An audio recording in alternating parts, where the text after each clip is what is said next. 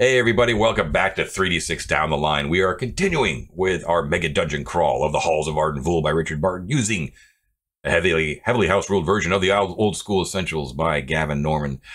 Going around the horn once again, I am your host for the evening. My name is John. I will be the referee. Mike will not be with us tonight. He is dead to us. He's on vacation, having a much better time than we are right now. Uh, False. But, but continuing around, we have. I'm David, and I'm playing Onweir, the illusionist. Very nice. Um, I am. Uh,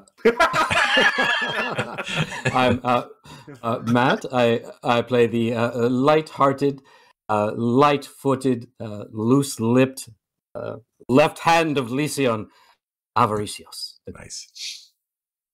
And I'm Ted, and I am playing Mortis J. Gobliano, a noble and wise sort of goblin, doomed, doomed to the eternal company of these heathens, these hoodlums, these murder hobos. Oh, Underground forever. the question the question of the day, will they ever see sunlight Will. again oh. and actually be able to separate from each other and I need a break. have some quiet time? Uh, yeah, so that is, that is a situation. Our our party right now, which is um, all of our PCs plus we have uh, we have four NPCs as well. We have Njal Oakheart, we have um, Tresty, we have Yost, and we have Samantha the Red. Um, in addition, are all lugging around massive sacks full of coin. They've collected even more treasure of varying uh, varying types on their journey since they have collected that treasure, and they're desperately trying to climb their way out of the halls of Arden Vul so they can collect that sweet, sweet XP and recuperate, um, so that they can make their way back in once again. Um, it is the 9th of Lagarios. It's about 1.30 p.m. They have made significant headway, and they are hoping beyond hope that this extremely large map, which they cannot see, but you guys can, is Hmm, leading leading flip it outward. Over, can we see? That's right. so Well, let's we'll look at it when he goes to the bathroom, guys. join join There me, viewers, perfect. as you gaze upon the vastness of this, and you guys will know: are they close? Ah. I'll never, I'll Oh, never yeah. tell. Is this, is this you You- telegraphing danger again, John? This is like, remember how that door went north, guys? Guess what? like, oh, Uh, oh, I right. know. so- I'm, I'm pretty sure there's like a secret way to go right to the moaning guy and then over to the feather house. Yeah, we got this. I okay. mean, so the if we could things. just find some pickaxes, we could just tunnel out of here at this point. Come on. We got that's we got the dwarf. Can can we just set the dwarf to tunneling now and see if he makes it by next week? Yeah, we come back later.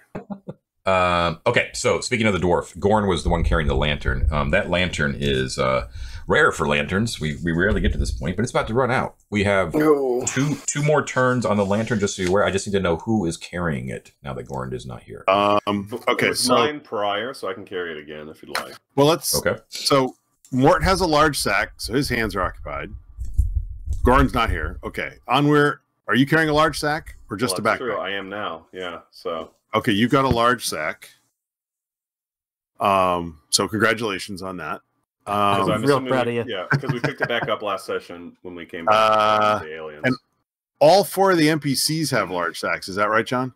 Uh, no, almost none of them do. Only Tresty has a large sack because the other three are carrying two-handed weapons, so they're they're basically um, holding against one shoulder, while the other hand has a small sack. Small sack. See what I'm saying? Like Yost is having a Yeah. has a two-headed sword, but he's just carrying it with one hand on his shoulder. Same Uh-huh. thing. Same thing with Yep. Samantha with her ranseur with Man Weeper, and um, Okay, and, but their uh, other hand is full of weapon. correct, yeah. And Njal has a uh, a battle axe, which he's carrying on one shoulder. Okay. What you- I could Ah. buy is if someone is wielding a pole arm or carrying a pole, is you could probably hang the lantern on that just that. Um. if you're short of hands or All right. I, Short of I don't hands. put- Is this a joke about uh, Avaricios? hey, hey, hey, hey, hey. yes, it was. I totally. Come on. That's, ah. Are we in I another mean, I mean, clearly. could we not? Could Uh, we uh, get one with three hands and then we'll all e- it will all equal out? Avaricios, what's in your hand? You have a small bag, not a Uh, large one. All right, I, I don't want anybody to be scared. I'm going. I can't hear uh, David at all, so I'm just going to hang up and join right back. It'll take one second. Okay. Well, actually, Do you just want be, to pause it, John? Or yeah, we'll be right back.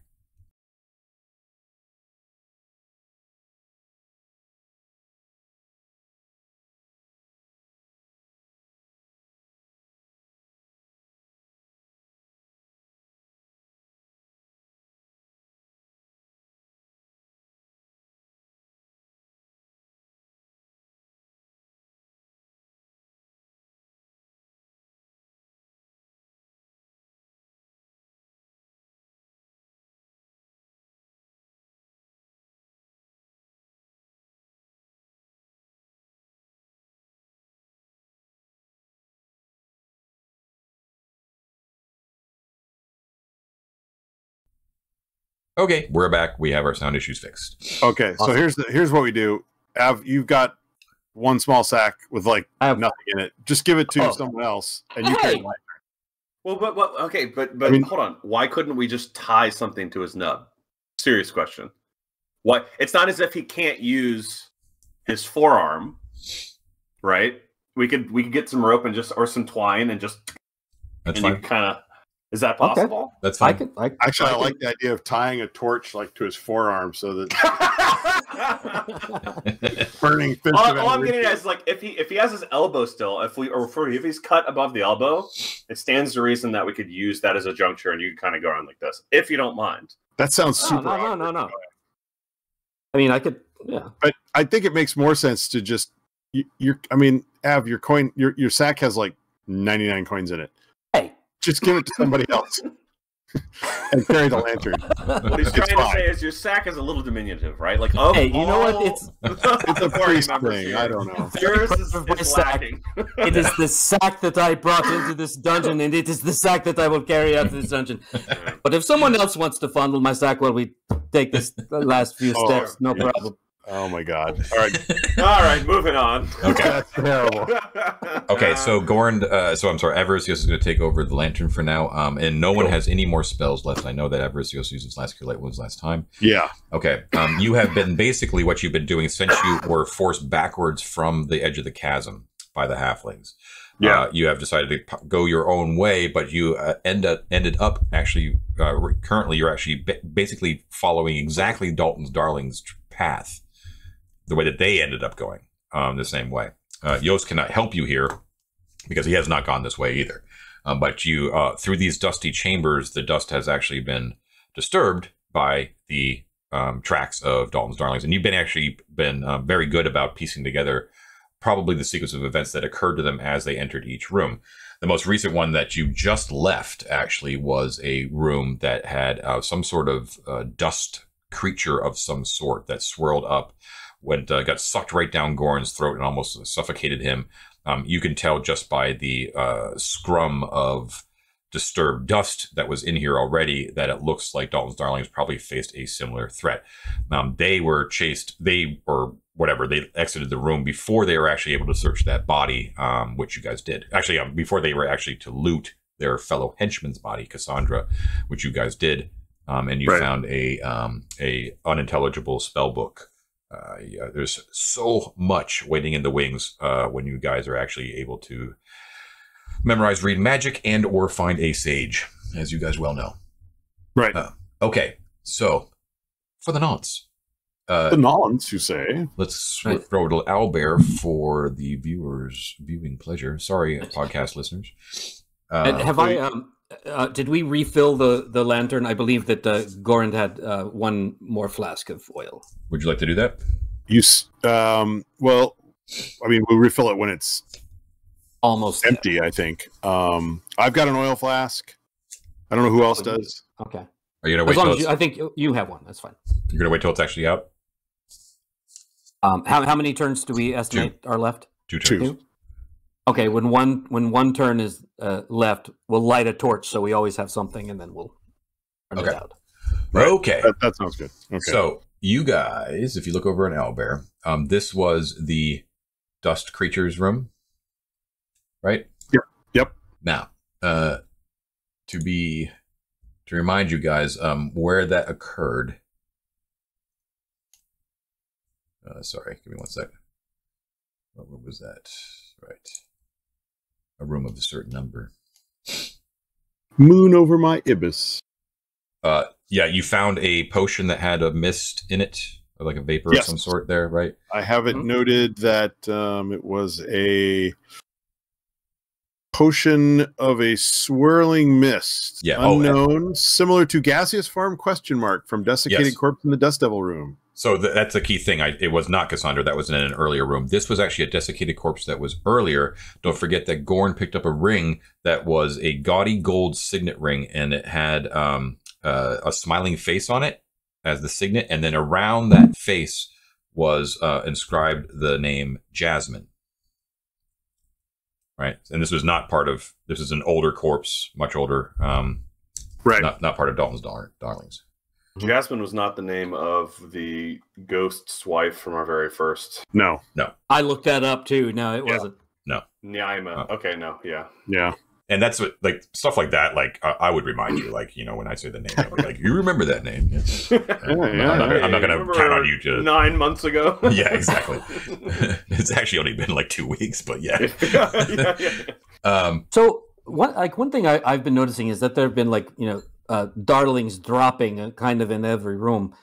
Um, It can't be too many left now. I mean, darling droppings, you know, everywhere. Um, uh, Yost, uh, you know, I, I'm uh, sorry to see so many of your former companions have uh, fallen by the wayside. How how many were in your group? Can you tell? Like, I'm curious at this point, how many would be left? It seems pretty bad. well everyone we've seen who dropped were hirelings like i told you dalton was nefarious for sending his hirelings in to do all the dirty work um, but you can see the trail that he left behind of those poor saps who took coin for, from us to hold torches they're all dead now Uh, assuming he Okay. wasn't able to pick up anybody in the dungeon themselves, it would just be the core group minus me. So that would be Dalton and Helga and uh, Heli- Heliogabulus, Isidore, and Yvette. I, That- I, I, that- What- I what do actually you- crack up a little bit when he says Heliocopolis. what are you laughing at? Uh, it's, uh, it's, it's a wonderful name, my That's a friend. great name. Anyway, you Is would that a wizard? you would love Heliogabulus. You could share many secrets together. Yeah. He is the man of the, the dark arts. Oh, I see. I did But not does he trust know- him. Does he love gems? Does he pick things up and put them down? yes, he's a, he's a mysterious man, a quiet man, but very powerful. I frankly was quite Mm. frightened of him, but he could bring mighty forces to bear. Does, Mm. does he have a large sack too? Does he ever? Listen, swallow. oh, this is Fact. a- episode 22. Everything goes off the rails. We're done, we're done. Listen, I don't know what you are laughing at. You asked me who who was left in Dalton and Darlings. I Of, told you of the course, names. of course. No, you're, you're uh, very, very kind to do this. Uh, Does this kind of make sense with the number of tracks that we see, or is it difficult to tell? Yes, I think so. Okay. It looks All right. about right. So five members, five members left. Do you want me to say the names again? Uh, Please. there Helga, Hi- hippopotamus. I can see they're not taking notes, so you don't think it matters, but that's okay. That's cool. oh no, you can see the note tab. Oh Anyways, my god. Uh, All right, okay, so right. the room that you, uh, so you left that that dust creature room Yes. through a door in the northwest. Oh, um, also a reminder too of an avenue that you did not explore. There was very strange, ornate bronze doors, double doors to the south end of that room. Yes. right? Um, and you saw Which- that the, tr- the tracks were not, they never went to that door, so you just decided to skip. it. Yeah. and you went through the. Um, you were also kind of on a lot of, under a lot of pressure with the dust monsters. So you were like spraying water, blah blah blah. So um, you went A to note the. on that, guys, if I could say, when we entered the next room and see that the door, the door, the door heads north, I'm now starting to regret that we didn't try the double bronze doors, right. which so, the, south. so let's explain the room that you're in right now because we left Yeah. the session right when you walked in. It's a much Yeah. smaller room. It's about um, it's 20, 20 foot by twenty foot square. Um, it looks like it hasn't been disturbed except for Dalton's Darling. So there is a clear pathway that runs um, around the obstacles that are in the middle of the room out through the northern door. So there seems to be only one door directly in the center of the northern wall. In the middle of the room, um, there is a wooden desk and chair, uh, uh, very plain, except for the fact that both of them gleam with a gold leaf veneer over them. They look extremely fragile. and Hmm. there's and it looks like the pat the tracks basically are chaotic and give the chair and desk a wide berth and go straight to the northern door as if like they were running right like they were moving quickly Right. sense. That makes sense. Didn't stop to look around. There's no evidence that the footprints suggest that one of them stopped, was eaten, and the rest of them ran. no they all it, uh, yeah it, it's it's a little bit tough to tell because it is very very chaotic but according to looks like Yost it's like just went that by. that looks about like the right number of people Yeah. Yeah. Yeah. Well- Okay. Well, naturally, I'm going to pick a pebble up off the ground and throw it over at the desk. Pick a what? A pebble off the ground. And Oh, okay. Toss it at the desk. I think you said an apple. I thought, where the hell? apple. Okay. An apple? I So have in your pouch. I've got a nice golden apple, but I'm not throwing it. Oh, at the and the walls here are all decorated with brilliant frescoes of Thoth, but it's very difficult to kind of tell, other than the fact that it does have some sort of um, Thothian importance, exactly what the function of the room is. When you Right. throw the pebble Onweir and um, it hits the desk, the desk basically uh, it hits it, and then for a second it shakes, and then it goes poof, and it collapses into a pile of dust that causes the rest of the dust to float up.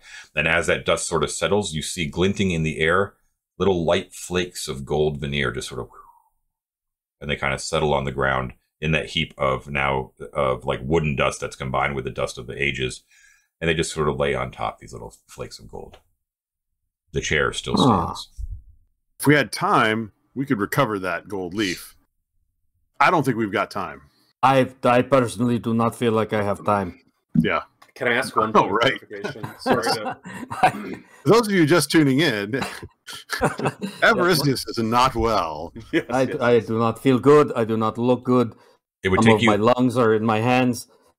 you you have a feeling it would take you probably a turn to safely collect that gold leaf but you have to tell me how exactly you, you plan to store it without it being you know just crumpled up and destroyed I think we should go.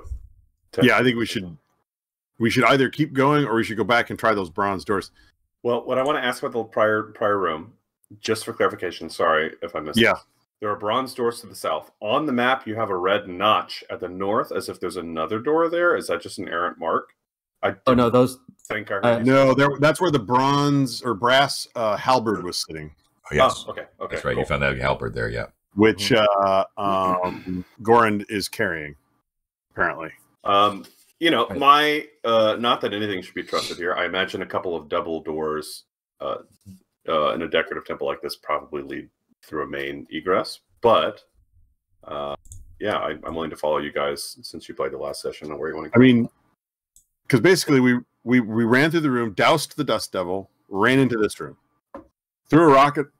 Excuse me, threw a rocket at the desk. It falls and that's where we are. That's where we are. Can I, can I walk over to the chair and kind of lean on it and see? Well, what I think we should do. yeah, right. Um, so what my point is that we may still have time uh, Sure. to run back if that dust devil's not actually destroyed with our water. We might have time to go back and, and avoid And check out encountering the it if we do it right now. And I, I kind of think we should. Sure, why not? Just to open them up and look. Yeah, sure, why not? Why not? okay so you're gonna go back Um, who who peers through the door fast. first I'll, I'll, Mort will open the door. It's my idea. I'll open the door. If the, I'll if the the- thing appears to be forming, forget it. so Mort, I'll hold you, the lantern right behind him so we can see well. Yeah. Mort, you open the door, um, and behind you, you can see that there are still some uh, piles of dust everywhere, but more prevalent now are actually like uh, like uh, darker patched colors of thick like mud, right? Um, from where you guys were spraying your water skins and stuff like that. Uh huh. Um, the room is completely quiet. All you really see now is just these mounds of dark mud and um, Huh? and the body of the of the uh, ancient person that you looted. No, I threw that in the chasm.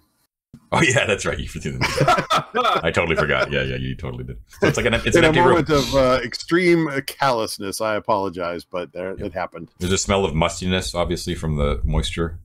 Um, All right. But that's If it. Mort steps into the room, does anything start to change? Poor baby. All right. Why don't I just go try the door, Yeah, guys? just truck it. Yeah. Okay. Okay. I'll, I'll I'll hustle over to the door and see if it opens. All right. So they are bronze double doors. Um, they don't have any markings on them. Um, when you attempt them, you can see that you you get a locked. Locked. We have an iron key. Uh, who's got the I- iron key? Uh, do I have an iron key? Wait a minute. So I think it is you. Uh, I'm looking. Uh, hold on, hold on. I have a bronze a bronze key.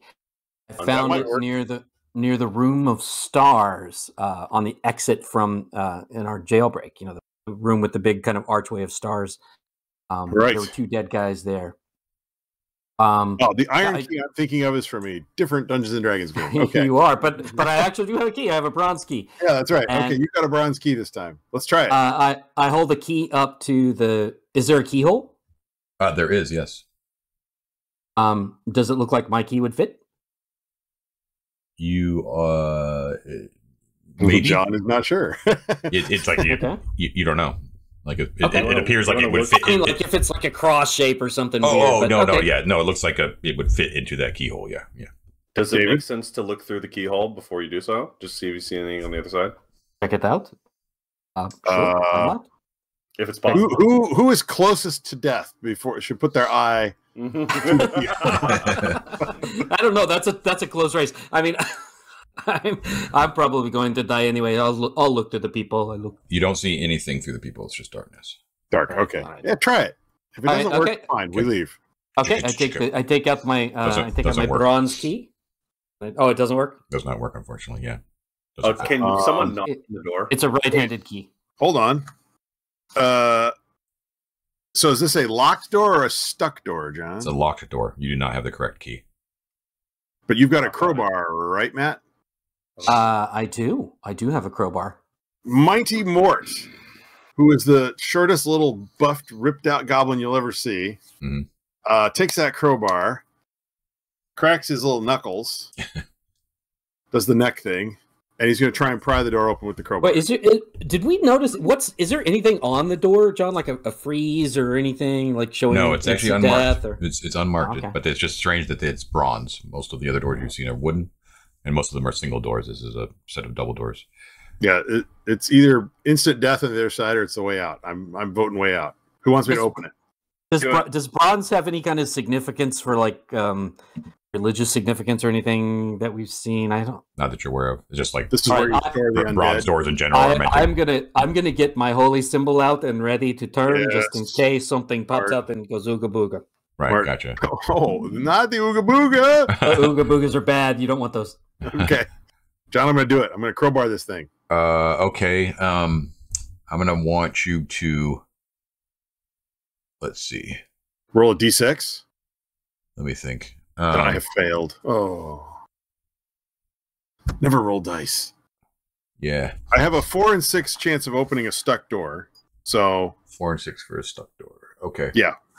Um, I'll give you a one and six. These are heavy, heavy bronze doors. very locked doors. Okay. Can I? Come on, this is maybe, maybe this is maybe a reach. Ooh. Are there hinges on this side?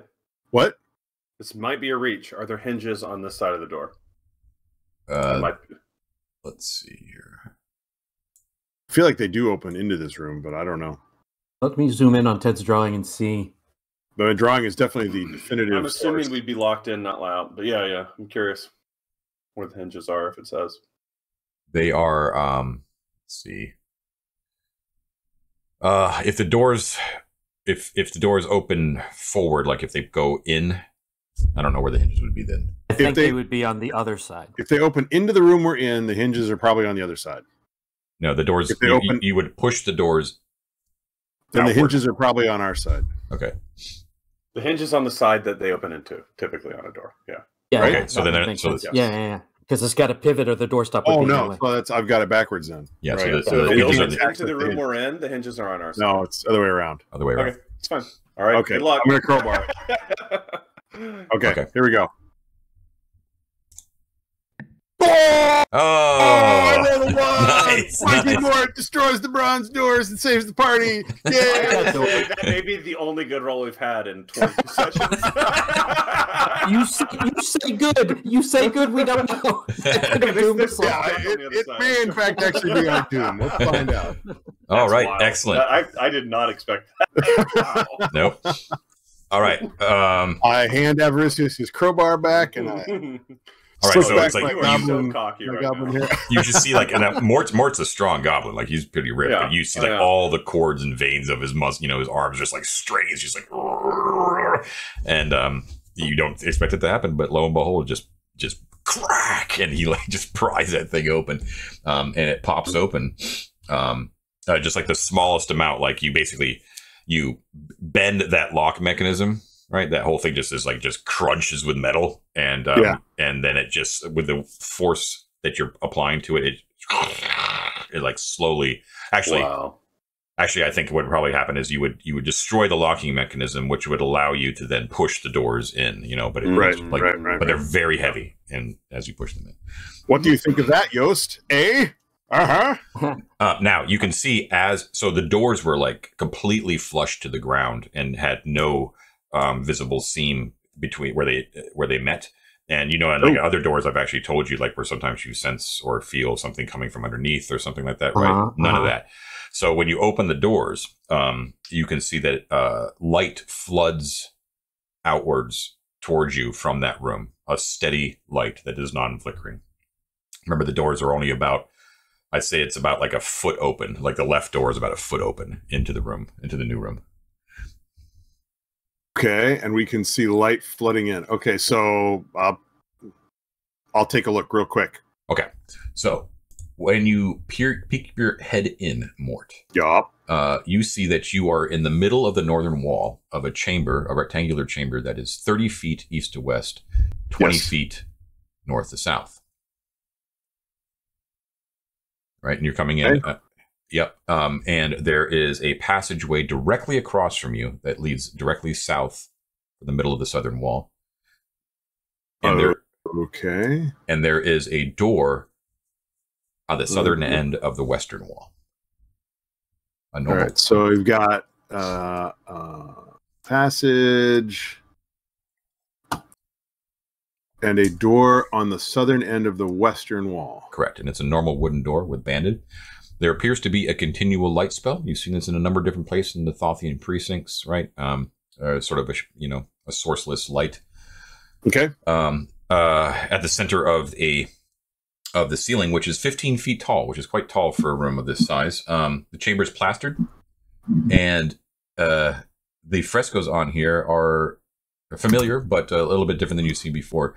There are 16 large images uh, depicting ibis heads specifically, and they are uh, they're all 15 feet tall by five feet wide. So like huge, like basically floor to ceiling depictions of like a of a huge ibis head, right, with like the long beak, basically draping down probably like 10 feet, right, just and there's 15 of them just uh what I say? No, I'm sorry, it's 16, just all around the chamber. All of the heads are basically staring at the center of the room. The eyes of each of the heads are sapphire blue, Um, and there is a extremely thick layer of dust, and this one is not disturbed by Dalton's darlings. Sweet. All right. Um, Okay. Uh, but you can see that there are Also not disturbed by halflings. incorrect. Oh. Oh. yes. So there are a few halfling sized barefoot footprints um, that Guys. are that are leading uh, south uh, through the to the southern passage and west through that door. However, none of them actually approach the door that you just came All from. right. So Now, on the other wait, side. You're saying that we're seeing like um like if I mark them here on the map, some footprints like that. Yep, you got it. Okay. So they're um the this side of the double doors. They were unmarked on your side, but this side, um, there are handles for one thing, Mhm. and they uh the doors themselves are elaborately carved with ibises, baboons, humans, scrolls, lots of strange objects. You've seen a lot of this stuff in sort of uh, discrete areas of the Hall of Shrines, right? All associated with Thoth. Um, and yeah. Uh, and that is basically it. Okay. You see nothing moving. Uh, John, how does Ibby uh, react in uh, the room of his people? Uh, she trots in between your legs and she stands in the center of the room where they all seem to be looking. And she just slowly turns in a circle and just sort of looks at all of them. Huh. I think you should repeat her actions and see what happens.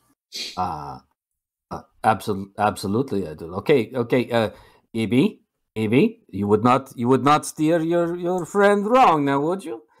and uh, I, I, uh, Avaricios will step to the step, step to the middle of the room, and uh, he will uh, look up at. Uh, he'll circle just like. You have the feeling, sort of like when you look at the Mona Lisa, that um, they are always sort of looking at you, but you have no reason to believe that they're uh, that they are mobile or animate at any you know any at any of them. Right. And- always looking, always judging. Okay, do you see? Um, uh, you mentioned the eyes were sapphire blue. Is that are they painted blue or do they seem to be actual sapphires? Painted blue. Dope. but brilliant blue. Like um, it, uh, the room has not been touched in in some time, so it looks like the ravages of time have not done much to lessen its original beauty. Can I listen okay. at the um, western door? Mm-hmm. It'll take a turn. Sure. Yeah, I think we need to very much be quiet at this point. If- Yeah, I'm, I'm, I think we all ge- keep real silent. yeah.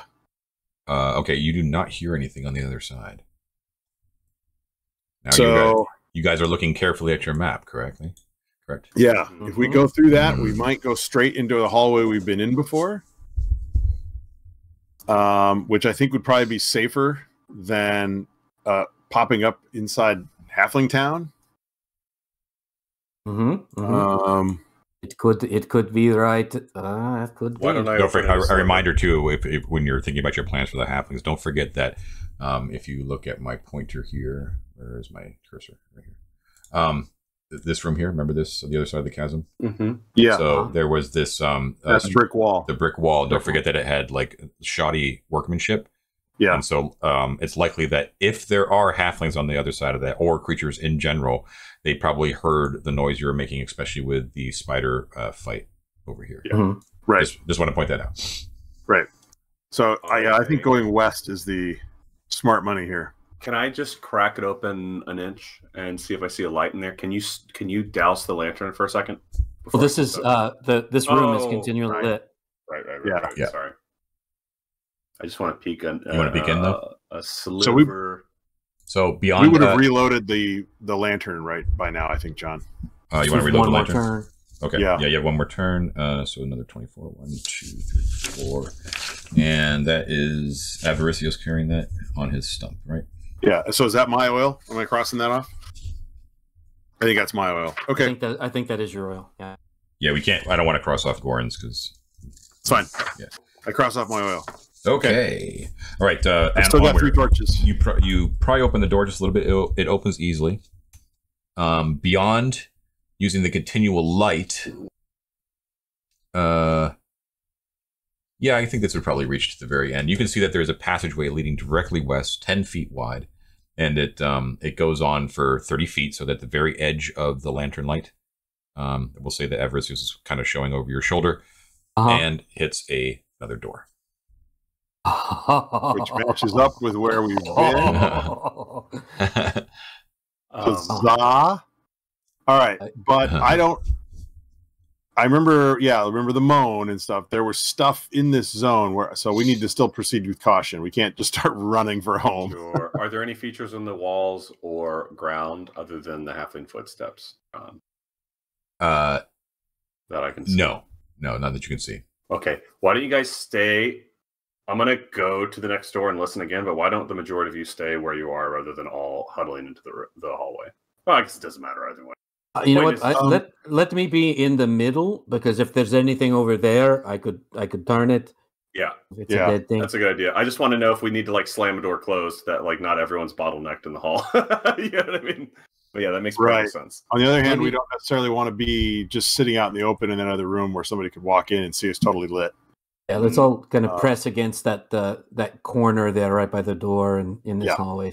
Yeah, Sure. we'll spread out over those forty feet. Okay, sounds good. Okay. Okay, I'm gonna I'm gonna listen to the door again. Okay. So you've gone into the hallway, you've gone the 30 feet, you're listening at the second door. Correct. Right, okay. Uh, checking. Yeah, you don't hear anything. I'm gonna open it an inch and take a peek. Okay, you open this door, and as you suspected, um, as your as the light kind of peers in, you can see that you are in a very familiar intersection. There's lots of doors. Yeah. you you know um, as it is you're like where are we? And you're like oh wait we came in from the southern end. I remember that. And then you're like yes to the west is that temple where the, we had the ma'at feathers. That's right. And you're like oh my god that means if we turn left we're almost out of here. You know what I mean? like, like you had that moment of realization where you're like oh my god. Yeah Love it. Love Yeah. it. Love it. Love it. you have Okay, connected your so- maps well done what a relief. So got to Um, get out. yes, we do. Uh, we do still have to get down. Uh, and our little friends are going to be down there in that big room. I okay, suspect so they will now- be. Go ahead. Uh, Well, I was gonna say now is a good time to uh, pee. sure. Uh, now is a good time to uh, prepare the sack of copper and cursed pennies for the halflings. Um, I just want to say too, um, just so you, you don't miss an opportunity, should you think it is worth the risk, you don't know exactly how things may have changed beyond that western door. But um, if some of you fear that your feathers are no longer useful or got burned up or whatever like that, right? You are right there again. could go Cool. back and get more fair, fair. feathers. I don't have a feather anymore. But the dungeon does change, right? It doesn't just stay static. Yeah, Yeah. Who knows? I would rather, we get out. yeah, I want to get. Uh, if there's any, uh, you know, hope of recovering from this, I think it's probably not down here in the dungeon. I don't want to. I don't Right. want to die down here. I mean, I never did, but uh, you know, there are better places. okay, so you're at the intersection. What do you do? All right, so I say we we the NPCs uh, are very excited when you relate to them like where you think you guys are. They're like, good, we, we they're have plenty of treasure. We can give them what they need and we can get out of here. That's Samantha. Um, I hate them. Oh no, not this again. Uh, so don't forget too, like in this intersection, there's like tons of trash. Looks like this used to be like a guard post of some sort. I don't think we can fight them, in particularly in our condition. Some of us are fine, but most of us are not. I can't do anything to them. And the, I'm the only thing, First level, remember? What's that? I'm still first level. As am I. As am I. Yeah, so I oh my darling children, fighting them. you're so you're so adorable. I love you both. Um, I'll be third level so in like patronizing. you know a couple of hours. Okay, so, so, so, so, so, so- okay, hold on. Just running through some thoughts because I did not think this is where we were going to be, so I did not prepare at all prior to the session. Uh, uh, uh, okay, we suspect they may have heard us at the brick wall, which uh, attaches probably to their primary like hovel tunnel that goes north to south. Right. Knowing that they are either or either or both defending at that spot or have come into the debouche room and maybe are waiting in preparation at the northeast side. Though I suspect they wouldn't assume we could get into the bronze doors, which is the only advantage we have there. But best case scenario, at the they're at the northeast, not at the northwest, because it would be strange for us to go hold around. You mean when you say northeast of their territories? You mean? of the debouche room. No, of the debouche room. So, I mean, Oh. okay, where, where's my indicator? Oops. I see. I see what you're saying. Okay. So, so, so We're best case scenario. I'm just talking this through as fast as I can because I don't want to waste too much of our time. But also, best case scenario, if they are like armed up and waiting, we hope that they're here, assuming that there is a, a a tunnel that goes north to south here. So, if we come out about the other side, they may not literally just be armed up there. They could be at the center room. I don't know. I'm just speculating.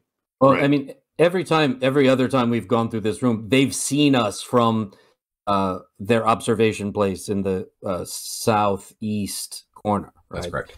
They, they always keep watch over that whole thing, Yes. and we're going to be bringing in a, a lantern light from uh, from the north, so they they will see us coming. I, I I think the thing we have to keep in mind is, um, are they going to be satisfied with us giving some money, or are they going to demand everything like they did yes.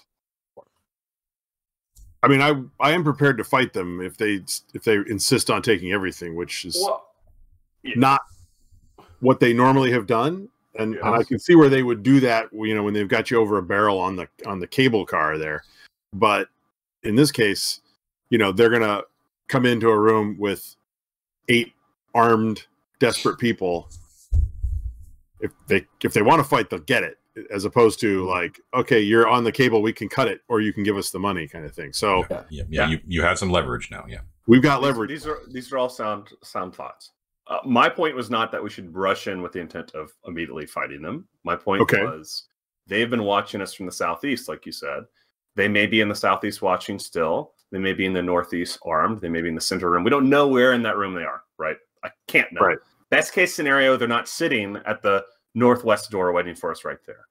Right. My my guess It is feasible okay. though maybe unlikely that we could be as quiet as possible and make a run for it being on the north side of the room rather than Right. walk in loud engage in a conversation et cetera et cetera et cetera like but that would require us to both be silent and quick right be very efficient with our with our intention Yeah. Yeah. No. I- doing that would theoretically burn a bridge, except they just left us for dead. So I don't particularly care about that aspect of it. Right. And to to Matt's point, with the amount of loot that we have, that they know we have because they saw us from the wall, I'm not personally in it. they don't know we have it.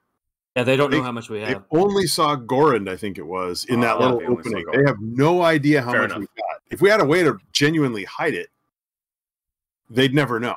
Sure. So well, that, so this comes thought to my just a second. conclusion. Hold that thought. John that has thought. something Go to ahead, Uh, yeah, we'll we just need to take our allotted pee break, um, and we will continue Oh, the discussion. Oh, good idea. back. Okay, We'll be, we'll be All right. right back, everybody.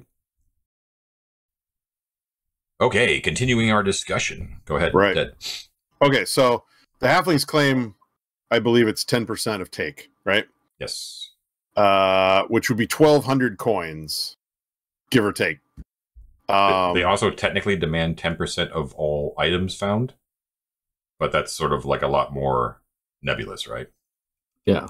yeah, How, in how our do they know? experience in the past, they've tried to hustle most of the items we are carrying from us, which is how the uh, first torch encounter happened Uh-huh. with Everisius. But Right? they're They were gonna- like, they're give us the stuff you're carrying. A lot of those items that you have can be tucked away like potions, and they'll never know the difference, right? However, Right. you do have very noticeable things that are ornate and beautiful and nice. So they're going to see they're going to see the man weeper, they're going to see the battle axe, My um, patchwork cloak. the, the Gorn's halberd. I mean, they're not going to yeah, care about the patchwork cloak because the Yeah, only reason we even Yeah. knew about it was the true seeing. That's correct. That's true. It looks like a piece point. of shit. Yeah, it, it and looks, they, it looks they worthless. don't know. They don't even know what Sam had on her because she didn't come in this way. That's correct. The The only only, that. one that they, yeah, Yep, you're right. You're right, Matt. Yost. it would just be uh, um, uh, Yost.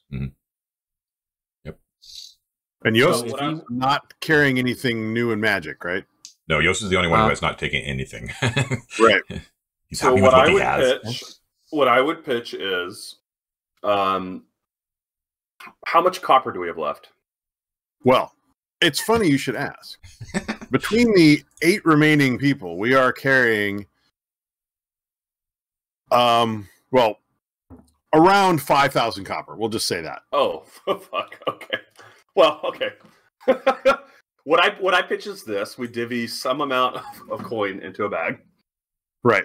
including a bunch of those evil Arcantian ones On the Yep. top, put those on the top. on the top. Well, and, and I'm even up for throwing some regular silver and some even some gold in there, just so that when they open it up, they see a mix. Well, my possibly yes, yes, yes, yes. I would also pitch though that uh we do what we can to just cut and run before they have a time to have a conversation. Like I don't want to walk in Right. and like chat with them and have them vet our gear, appraise all of our characters, look in the bag, and then go.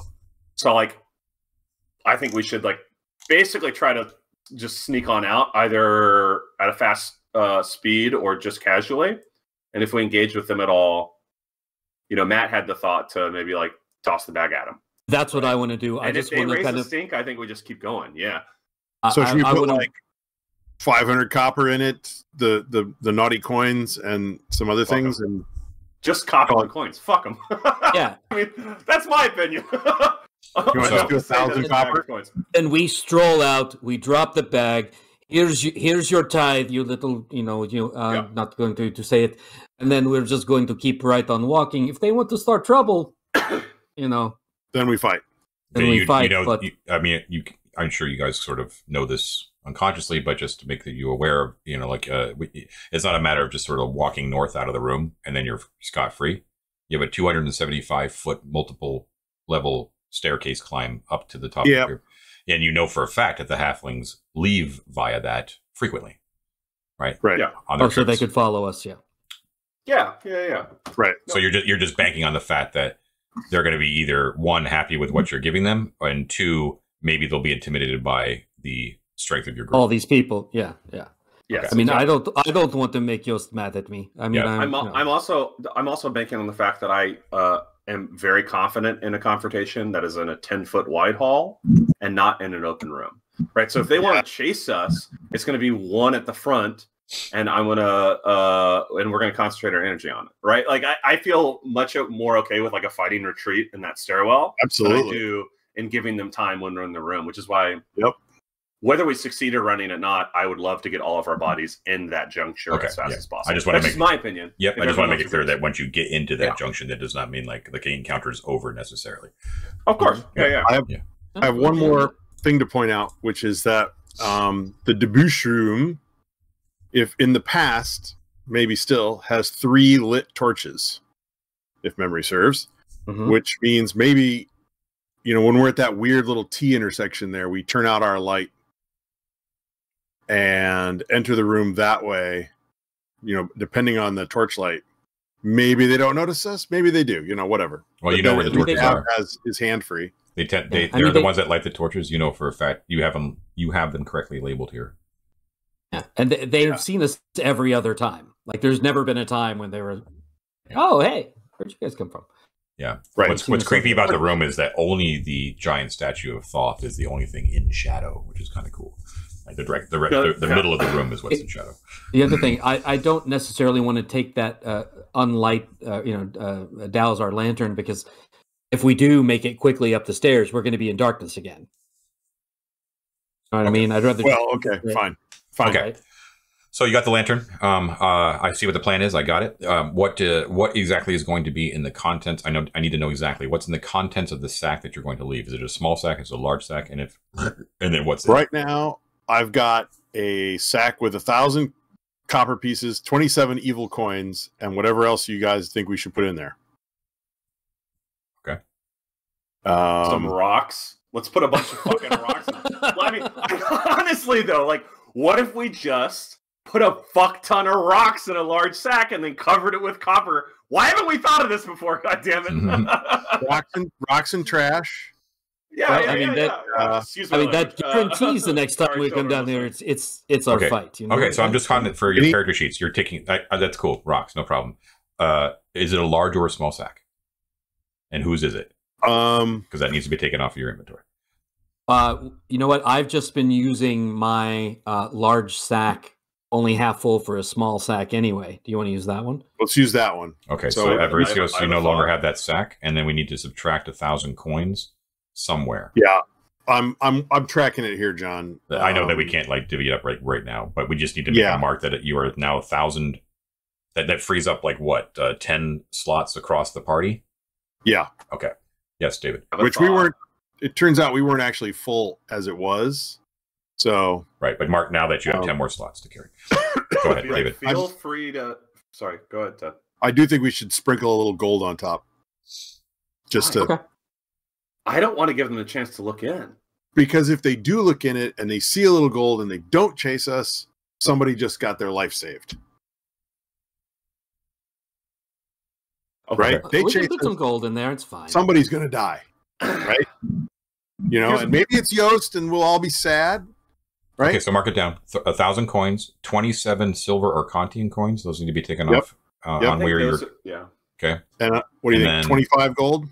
Twenty-five. My gold. think my thinking is the Arcantian coins look more valuable than gold, so that does the thing you're suggesting. But No, I- Arcantian you know how Let's people make- are about gold.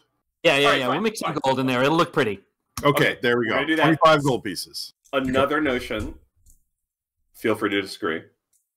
All right, I will. If I am no longer holding a large sack, I have a wand of light I can blind people with. So You are still would- holding a large sack. I would love to ditch mine and that be the sack we drop with said gold and stones Well, and copper, etc. We're uh, well. How many slots are in your backpack, Onweir? Well, barring that, that gives me No. How many slots are in your backpack total available for coins? okay available for coins at what Okay. movement rate? to- 90. to get out of here, with not being the one, last one left behind. So ninety. Currently, I have one, two, three, four, five, six slots were allocated to coins in your backpack. in my in the sack. Oh no, in my backpack. No, no, no, no. I'm sorry. I, I, You're you're. This is critical because you are right now, from my calculations, carrying close to fifteen hundred coins. yes. If you can't put them all in your backpack, we can't drop a sack. I thought we were doing a thousand copper coins. in Well, you still have 500 sack. left. Uh, I mean, okay, this is well, whatever. I don't have to jump a. I, this is this is for me. Five hundred extra or less coins is less significant than having free hands to blind someone in an encounter when we're trying to fuck them over, including like adding twenty more gold coins in. You, you get what I'm pointing? Why are you arguing with me about twenty five gold pieces put on top of the sack? Now you're like, oh, fuck it, drop all Okay, the so coins. it doesn't, it doesn't matter. The point, the point. Okay, it doesn't matter. It doesn't matter. I, I I'll keep my sack. I'll keep You my can sack. drop the sack and Whomever shoot is- if you have to. Okay, fine, fine, fine. Because if we're if we're at the point where you're blinding people, we're in combat and we're all going to drop our sacks and fight. Everybody's going to drop their sacks anyway. Yeah. Yeah. I think if we're blinding a person in a 10 foot hall, we're running and the person in front of all of their friends is blind and they're stumbling over them. Again, we're, we're, we're in a, we're in a single juncture. I, I'm not trying to turn and fight if they, they they try to fight us. I'm continuing the run the entire time. That's my thought, but it's up to y'all. Right. Anyway, it doesn't matter. Uh, it's fine. It's fine. Sorry, I, I got confused there. Uh, It's on me. fine. It's fine. Okay. So we're gonna. Here's the plan. We've divvied up some coins. We've rearranged some coins. We've got a sack with some decoy money in it. hmm Mm-hmm. We go down the hallway. We enter the debauch room. If nobody says hi, great. We leave. If they say hi, we say, "Here's your ten percent," Yeah. and we just keep going. I got it. Cool.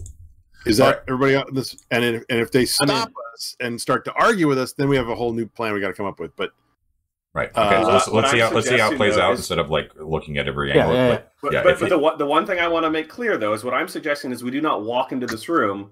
We are already going to the stairs at full clip. yes, If we were Yeah. gingerly walking into Yes. the room, they're going to intercept No. us. Okay, okay, okay. we just book it. We All right, leave. cool, We drop the coins if they say anything. Yeah. Okay. Uh, Cool.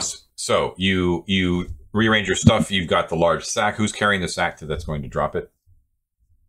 Um, I th- it was my sack. Oh, I can't carry a large sack though, so it can't be me. well, I gave if we my sack. rearrange.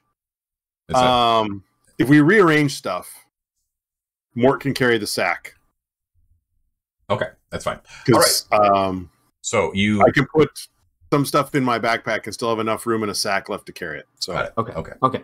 All right, so you head back, um, and so you go through the door to the south. You have been uh, through here before. Uh, narrow hallway goes about 40 feet down before it opens up into another door. Um, you do not hear anything through that door, and going through, you find yourself in that small little guard post. Um, this is a place where, at, um, uh, underneath the trash, you actually were able to find a um, like a gem and some money, but you already picked that up. Um, it does not look like the halflings have bothered to clean up this area or that anyone else has sort of been through here recently. Um, so uh, directly south of you, you know that the southern door leads out to the debouchement and the statue of Thoth. So you kind of collect yourselves and you're like, "Are you ready? Let's do it." ready, Freddy. and you bust you bust through the door. It is exactly as you remembered it. Um, so there is the flickering torch that is about 15 feet directly to your left as you walk through the door along the northern wall.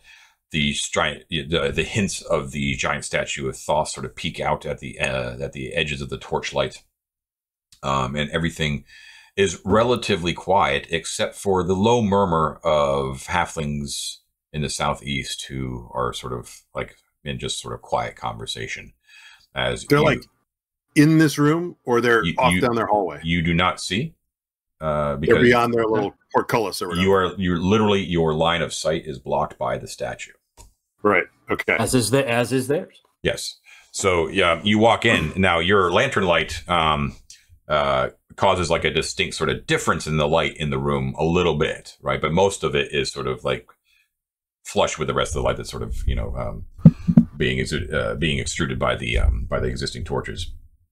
And you run as fast as you possibly can to that northern door. You hear vaguely, you hear a "Hey!" as you go as as there's uh, eight of you that go flying up uh, out of the room as quickly as you possibly can. Um, who's the last person up? Um, I would probably need to be towards the front or the middle since I've got the light. It could be one of the NPCs too. You can just pick one if you don't want to. uh, well, I I like the idea won't be- honestly it of be it being either Njal or Yost because they're good at blocking hallways. Very true. Yeah.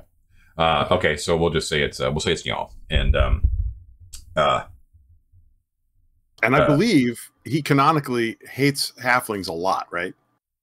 no, unfortunately, he, he, he's got his he's got his uh, little uh, peccadillos. Like, he def- doesn't like isocritus.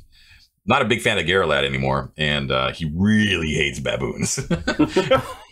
the irony, the irony is, is that he actually, he and his isocritus have that very much in common.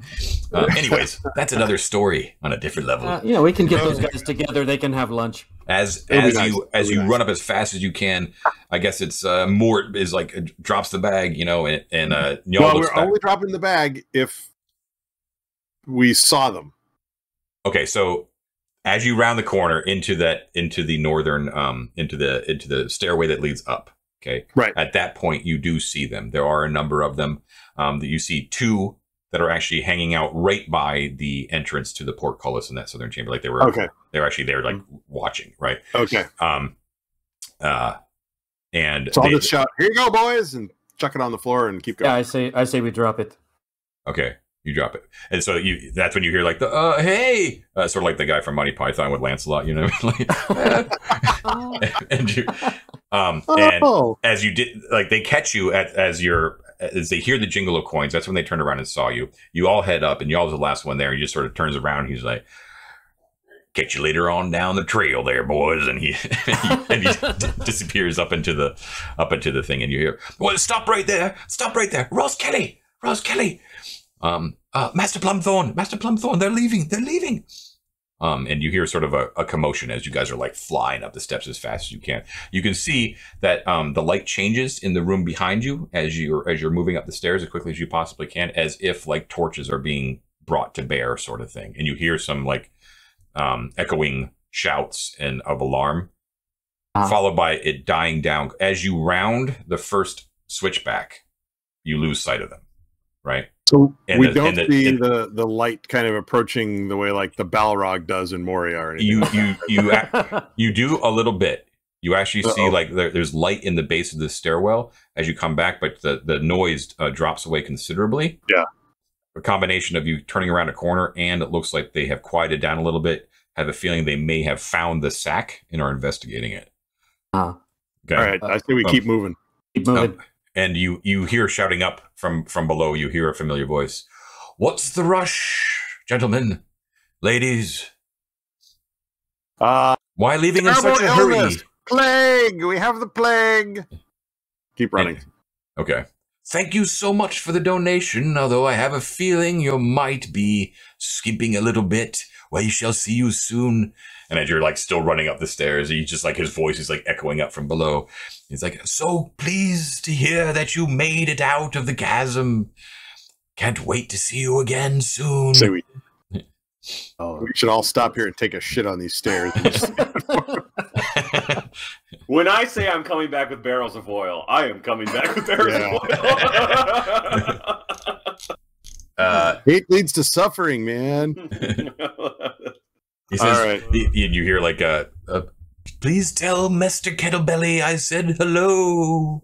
Yeah, yeah, yeah, yeah, you bastards. All right. Oh my god, guys! no, no, running. no. wow. so When you, do the stairs collapse, John? you, when do the stairs collapse? yeah, you end up it, you end up like you're running, and it's like you then you realize as as you slowly realize that they're probably not following you. Exhaustion like hits you like a ton of bricks because I mean this is now it's like the scene from Ghostbusters where you're going up like 21 flights of steps at a flat Yeah, at a fast clip, and there's just no hang. You just can't be doing that. Avriosos is literally like doubled over, just like heaving big gobbets gibbets of blood out of his mouth. Just, I, I'm fine. Uh, It's good. I can, uh, so when you finally, after I'm going to say probably about an hour, um, it's going to be approximately 2 p.m. right now.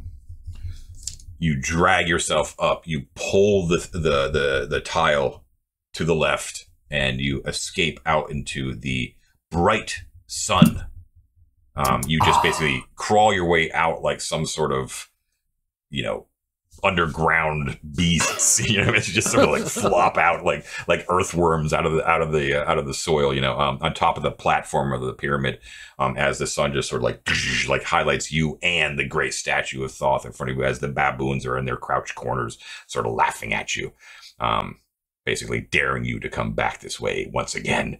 And you have found yourself in the sunlight. You have escaped from the halls Oh my God. Arden Vul. I got, I got, a, I got to issue, I got an issue a MVP award to both Matt and Ted for the Great Dust Devil solve, Mm. which is an That amazing idea, and a phenomenal bronze door breaking open. Oh man! I do unfortunately have to say that we're probably going to roll like one d six bees that are going to kill us in about thirty feet. the bees, not the bees. Good job though. That was that was, that was Oh my really God. guys. Yes, Well, really well done. done. Well done. You know, I'm really Okay. glad Holy we, uh, shit. I'm really glad we opted to try those bronze doors, though. Not just Yeah. because we got Oh, them yeah. open, but man. uh, I mean, I really you- think that other direction would have been bad. One and a six, and you got us out, Ted. I mean, Yeah, it's crazy. that is Ah. wow. All right, well, Yep, wasn't expecting that. So um, it is approximately 2 p.m. Um, it is bright out. Uh, you take a moment and you're like, okay, whew, we're out of there. We know exactly where we are. You are not Yeah. safe yet. You are in the middle of the ruined city of Arden Vul. Um, and Yeah. it, in order to punctuate how tenuous the situation is, you hear oh like a,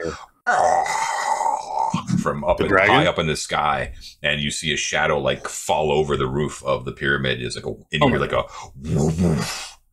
and then lo and behold, yes, you see the green, the dark green scaled mass of uh, Crastorinex as he circles in the sky, um, and then he Maybe we wait here a little bit. And then he and he glides off um, uh, on the thermals high, high above you as he sort of like ratchets higher and higher and higher as he heads off towards the southwest. Okay. Looking out the eastern side, you can't help but see the bright, shimmering light of the sun filtered down, uh, down that avenue to the east, straight down the well of light, where you know exactly where that leads. Uh huh. Mm. Before we descend the pyramid fully, can I just do a quick appraisal of the horizon to make sure I don't see any troops of soldiers or mercenaries or anyone who would see a Right. group Looking of around. people with giant sacks of Or, like, to uh Lady Gosterwick Ambush. building a fort there at the top of the hill. yeah, Mhm. we haven't been out of here. Sure. Um, so Excuse me. you uh, looking out over uh, the signs of movement that you can see is straight up the northern boulevard. You can see the um, uh, uh, shapes in the northern guard towers. Stands to reason. Okay. um, way off in the distance to the northwest you can see uh, a few folks just sort of milling about the end of the broken head as well. Um, okay. uh, you see what appears to be waiting and greeting for Crastornix are two smaller wing shaped with sharp barbed tails, sort of circling above the southwestern tower in the very far corners.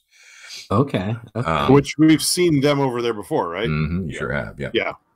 Uh, and other than that, you do not see any other moving shapes. Should we Um, go well, I don't- I, I don't see any moving s- shapes because my face is in the ground, kissing Yeah, the yeah. kissing Yeah. the, the the lovely Ugh. earth that I, and you know, just uh, just uh, uh, you know, but do you guys know what day it was when we pushed the plunger and went down to Plunger Town? Um, I can figure it out. I know, I know exactly. It was the seventh. We've been down there for just two days. Yeah. Long days. cow. Yeah. oh, the Two longest two days days. ever. Okay, Oh, Okay. so what do you do? uh, So it's either the inn or we go to Gosterwick. I think we go straight to Gosterwick, but it's up to y'all. uh, that's a long way, and we are really for shit. We Why- left a lot of money at the inn, by the way. I say we go to the inn. It's the closest. It's just right over there. I say we, We, go to did the just inn. betray the business partners of the innkeeper. Just No, we didn't. point They got paid. They got paid. Okay.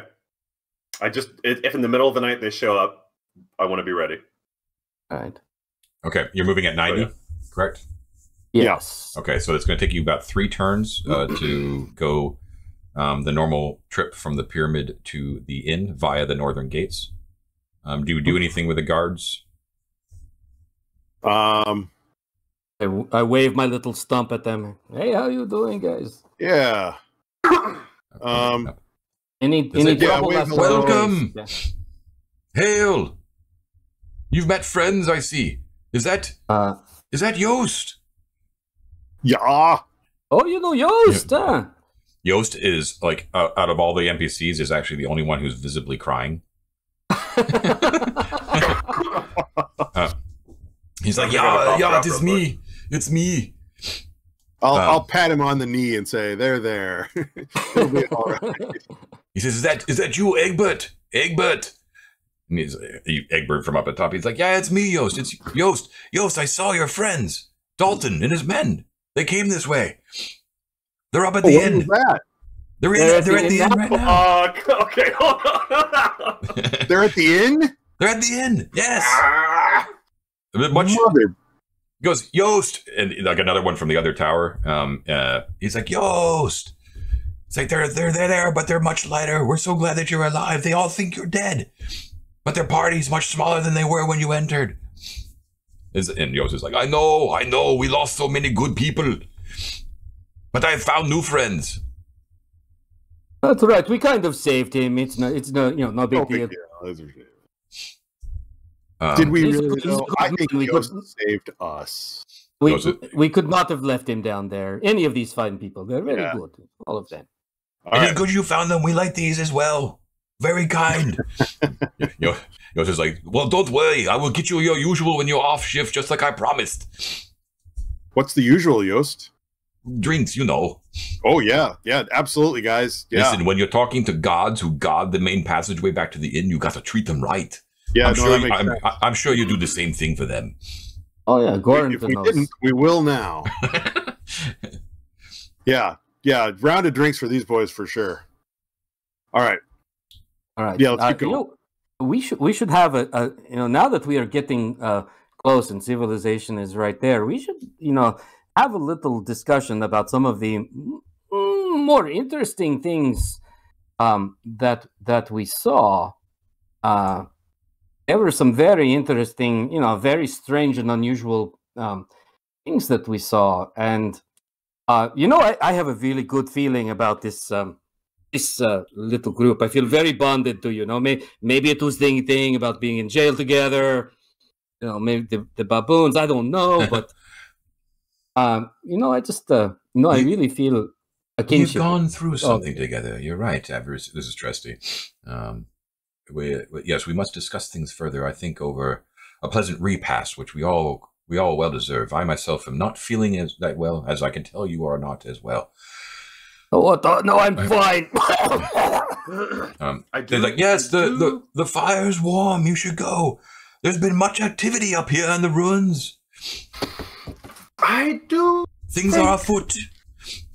Uh, I agree with our wise uh, priest that we uh, saw many interesting things. I do think discretion, as as much uh, a joy as seeing our other compatriots might bring, I do think discretion may be something worth discussing before we arrive. Yes, and I kind of look at Yost knowingly. He's Uh, like, I tr- if you're worried about Dalton, I trust him implicitly. He's a good man. Other than his his, you know, how he sacrifices hirelings. but other Well- than that, But here's- you know, if I may, if I may, as the mere goblin of the party, uh, I think what Onweir is trying to say, Yost, is do you intend to run with us, or do you want to run with Dalton again? oh jeez, I don't. what a what a spot you And- put me in. It's a spot. Let me let me explain. What he's getting at is we've got some knowledge about various things down there that Dalton doesn't need to know. He didn't find it. We found it. And you were part all of of it. us. Yeah, all of All us. of And us we found found it it. after we helped you survive Yeah. prison. No, I owe you my life. That is that is absolutely sure. But but uh, Dalton has also saved my life in just my uh, just being able to be with a competent band like that. Uh, Well, Yeah, yeah, no, I get here- that. here's course. yeah, here's, But do you do what- you owe Dalton our hard work? absolutely not. And my lips are my lips are sealed. See? Even if I go back with Dalton, I would never speak a word of what you've seen. and think- Yost, what I think, I'm sorry. Go ahead, Onweir. No, I was going to say, you know, I think we're all thinking about the same thing. You know what? Yes. What what I think we would all like to do is if we are going back to any of those particularly interesting places, we get in touch with you. You take a little sabbatical from your uh, normal work, and you come down with us, and you can share in the uh, amazing riches that we all find and know together. Right? The same way that you know uh, we wouldn't ask to be in anything you found with Dalton. You know. I, I can see why he wouldn't need to ask what I will be honest with you. I never thought that I would make it this far, that I would even have this choice in front of me. So it is a very much a dilemma for me. However, I understand what you're talking about. You are talking about the room with the red light, and yes, in the strange creatures. I understand. I will say this: I will speak nothing of it unless the presence of those of that area, those strange, horrific things that I saw, if knowledge of that would help save the lives of my compatriots and the Dalton darlings. Hmm. Otherwise, I will not speak a word.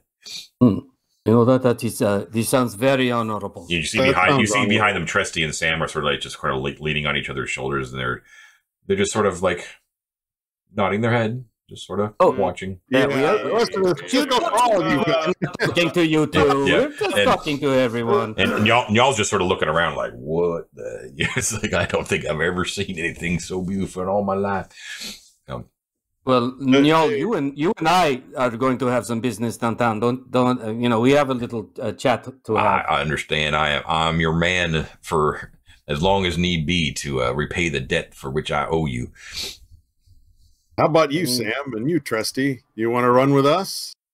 Well, and both I'm not going to go through both of them role playing, but they both are in the same situation. Basically, it's separate separate parties, but they um they have reason to believe that the rest of their party has been destroyed. Um, and Right. so, uh, uh, Samantha had something that she wanted to do with her party. You have not asked her about that yet. Um, Hmm. uh, so she Maybe can now's a good time. she can she can basically like take it or leave it.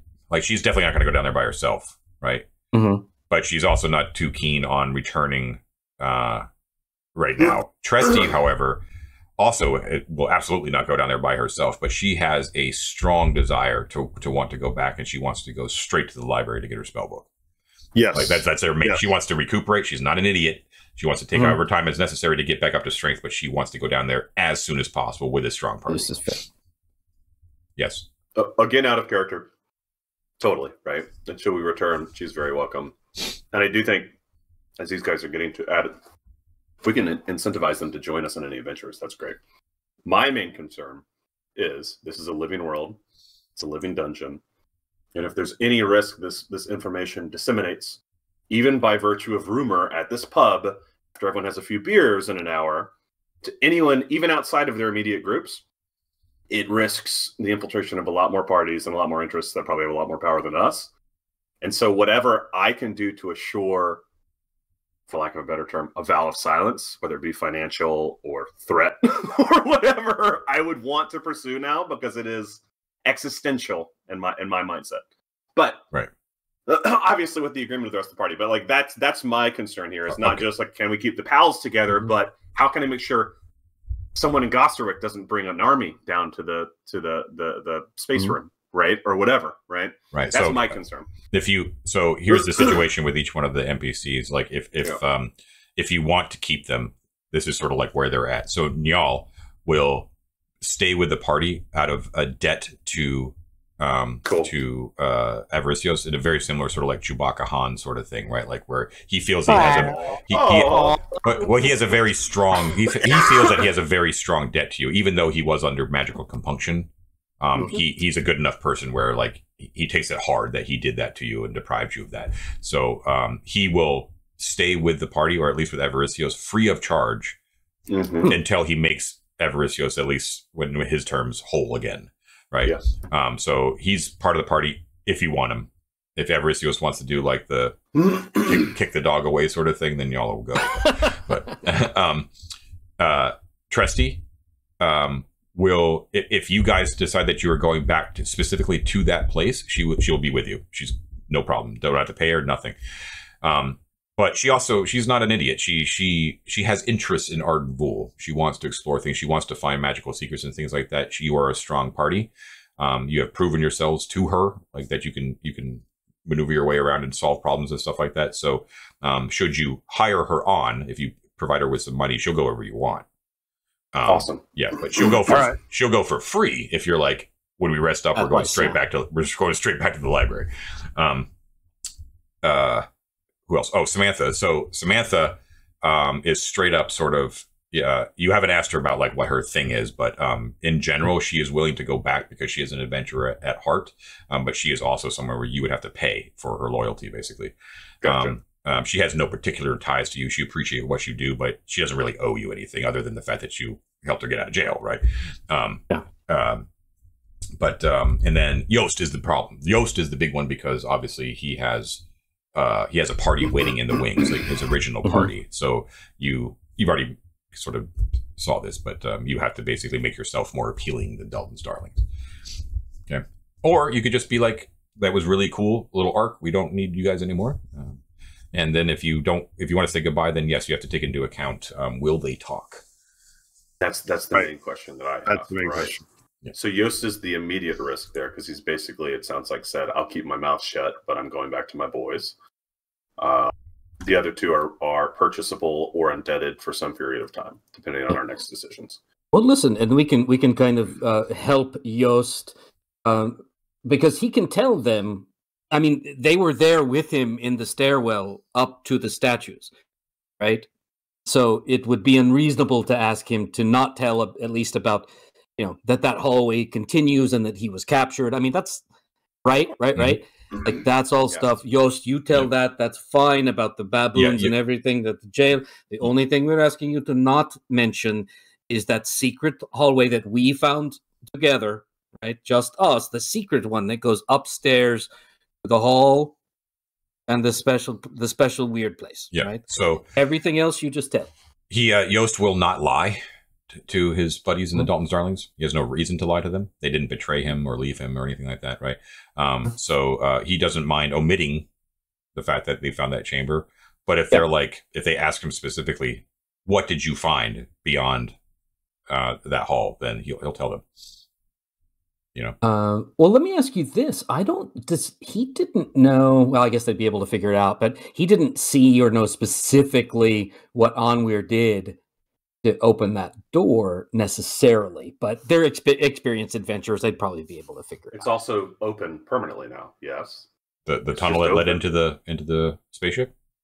Well, the, uh, it's blocked by the statue, but yeah, I guess it statue is blocking it, but the Oh, that whole area, statue is Yeah, all yeah, yeah, it's open. Yeah. So were they to go back there, they would see an open passage. Not that they would know how to get to it, but if they already are wise enough, because uh, Yost knows to hold a symbol of Thoth, it'll move. They can walk right through.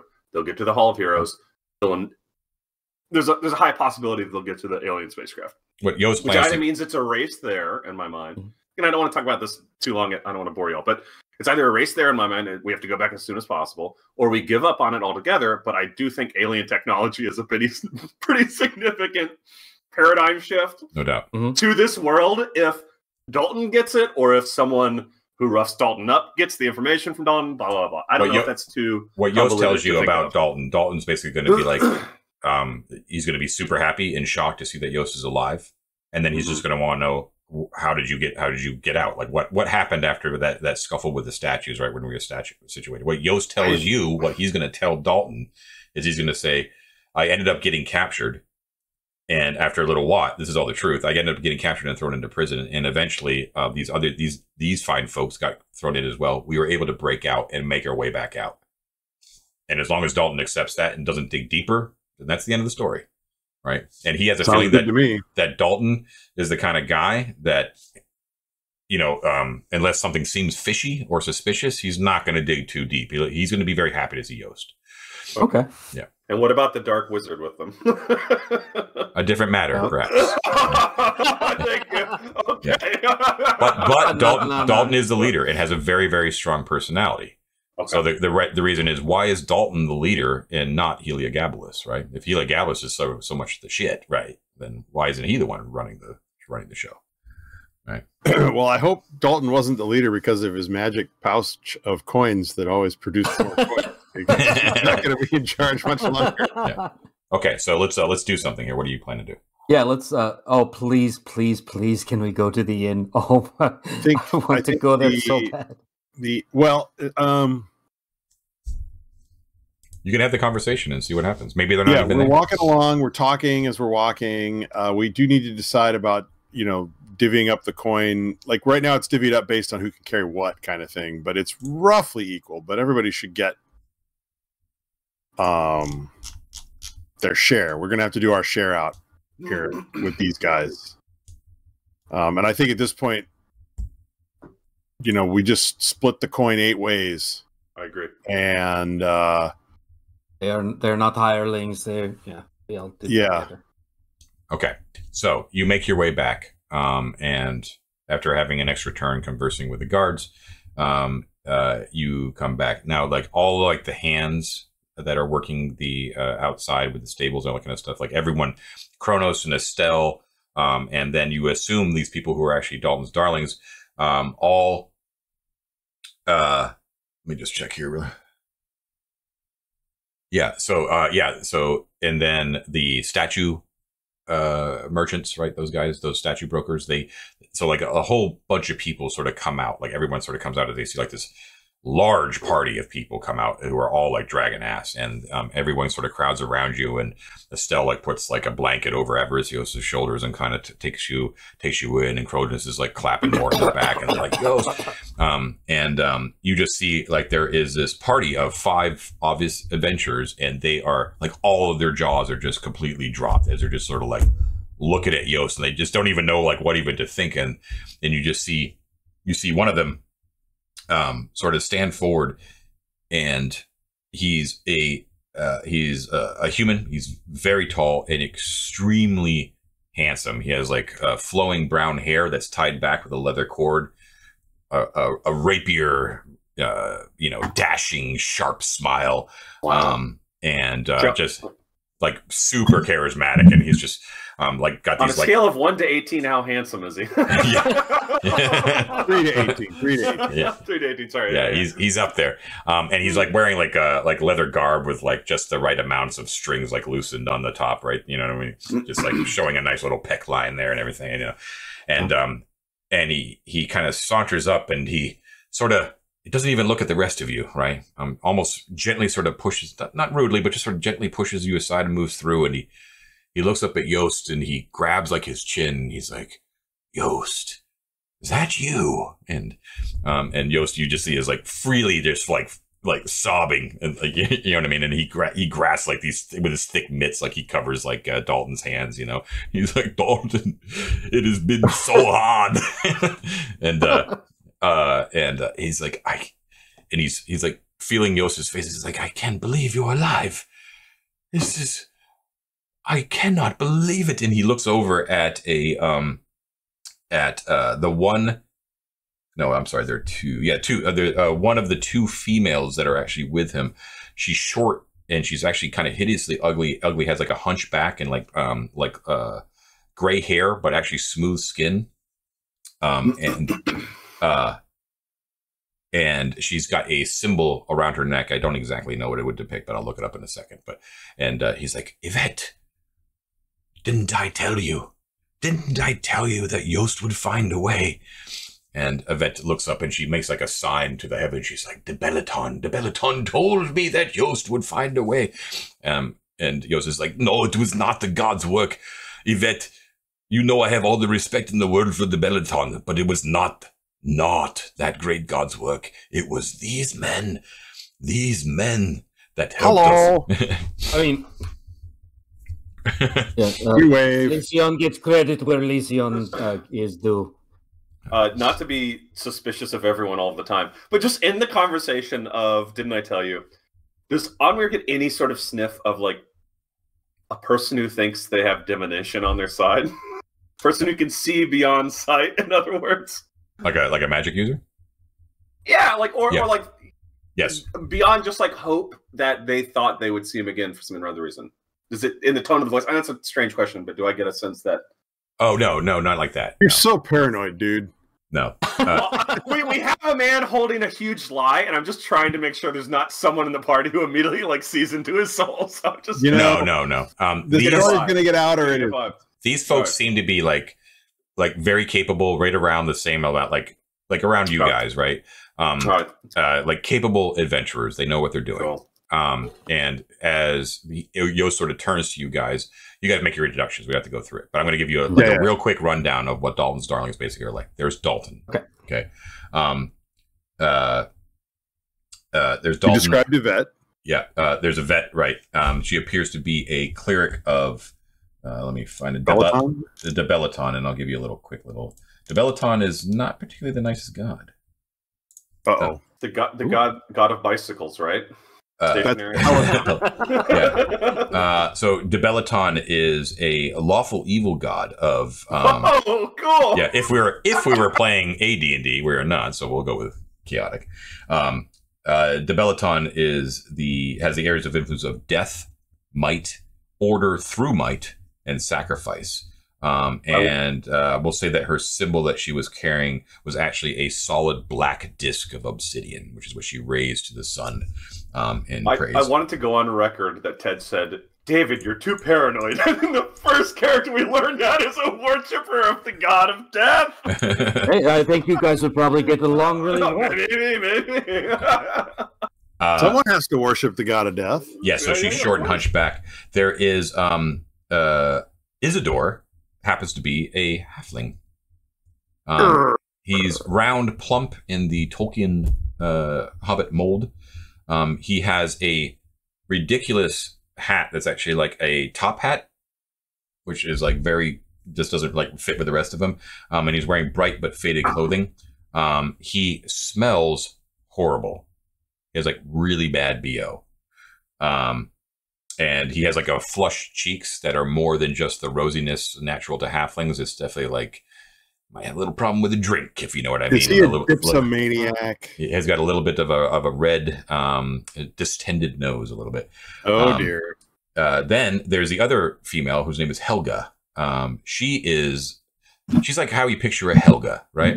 She's whisking. she is a whisking woman. You know what I mean? She's, yeah, she's yeah. big. She's big. She's blonde. Um, she's basically like the like an extra on Vikings. Um, and she has she has a very long scar that goes uh, across her left cheek. Um, but she's very very quiet, right? And she moves like a snake, even though she's very very big.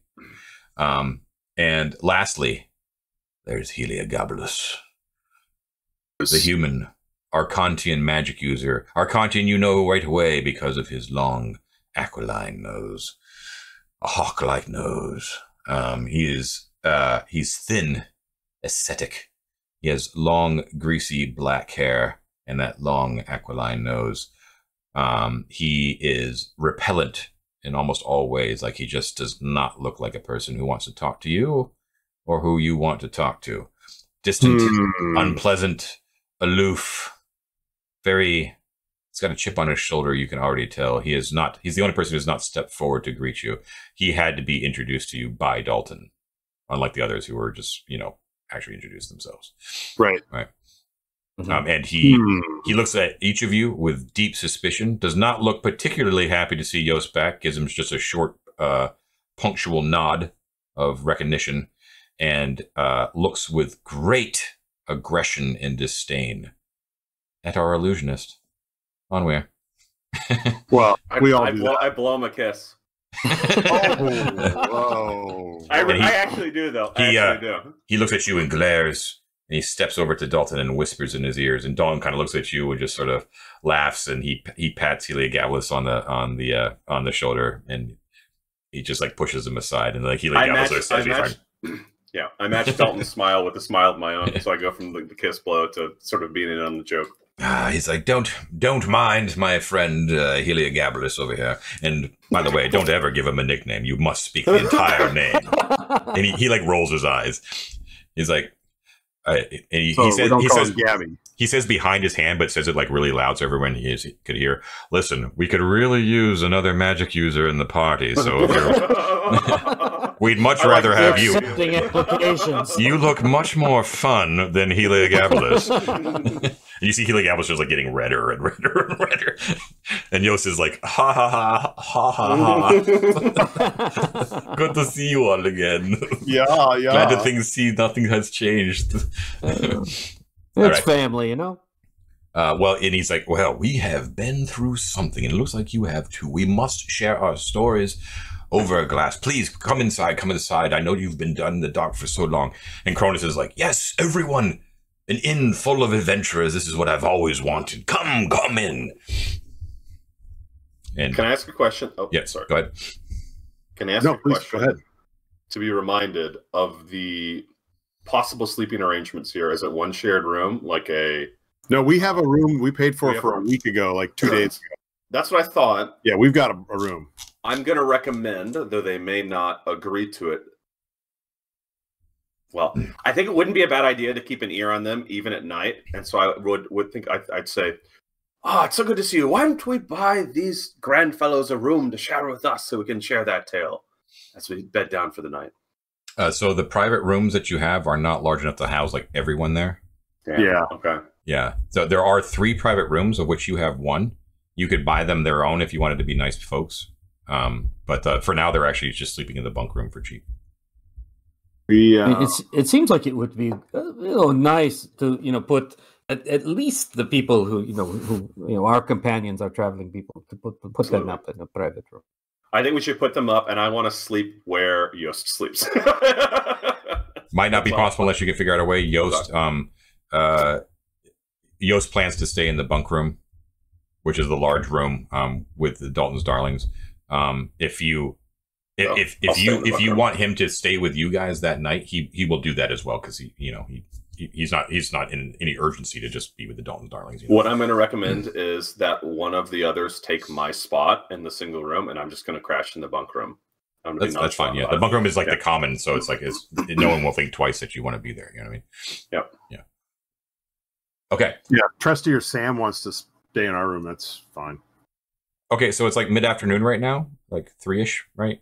Um. We're we're in the all, but yeah. So. um, uh yeah, drinkies Okay. and experience and leveling up and healing Yeah. and dancing girls and Okay. So Oh, we have about and- we have about fifteen and- minutes left in this session, and we probably don't want to spend it just sort of like doing the bookkeeping of no, no, no, no. of tallying all that stuff. I know that uh, the audience as well probably wants to definitely see like how everything shakes out as far as yeah, what money is and where it's going to go and um, how much XP and all that sort of stuff. And we'll break all that down. But um, uh, uh, assume this like nothing untoward is going to happen to you at the end of the broken head, but you have lots of Okay. opportunities here that you guys have already discussed. So um, you're going to have to kind of figure out exactly how you want to prioritize things, how much you actually want to take care of here at the inn, and how much you actually want to do at Gosterwick.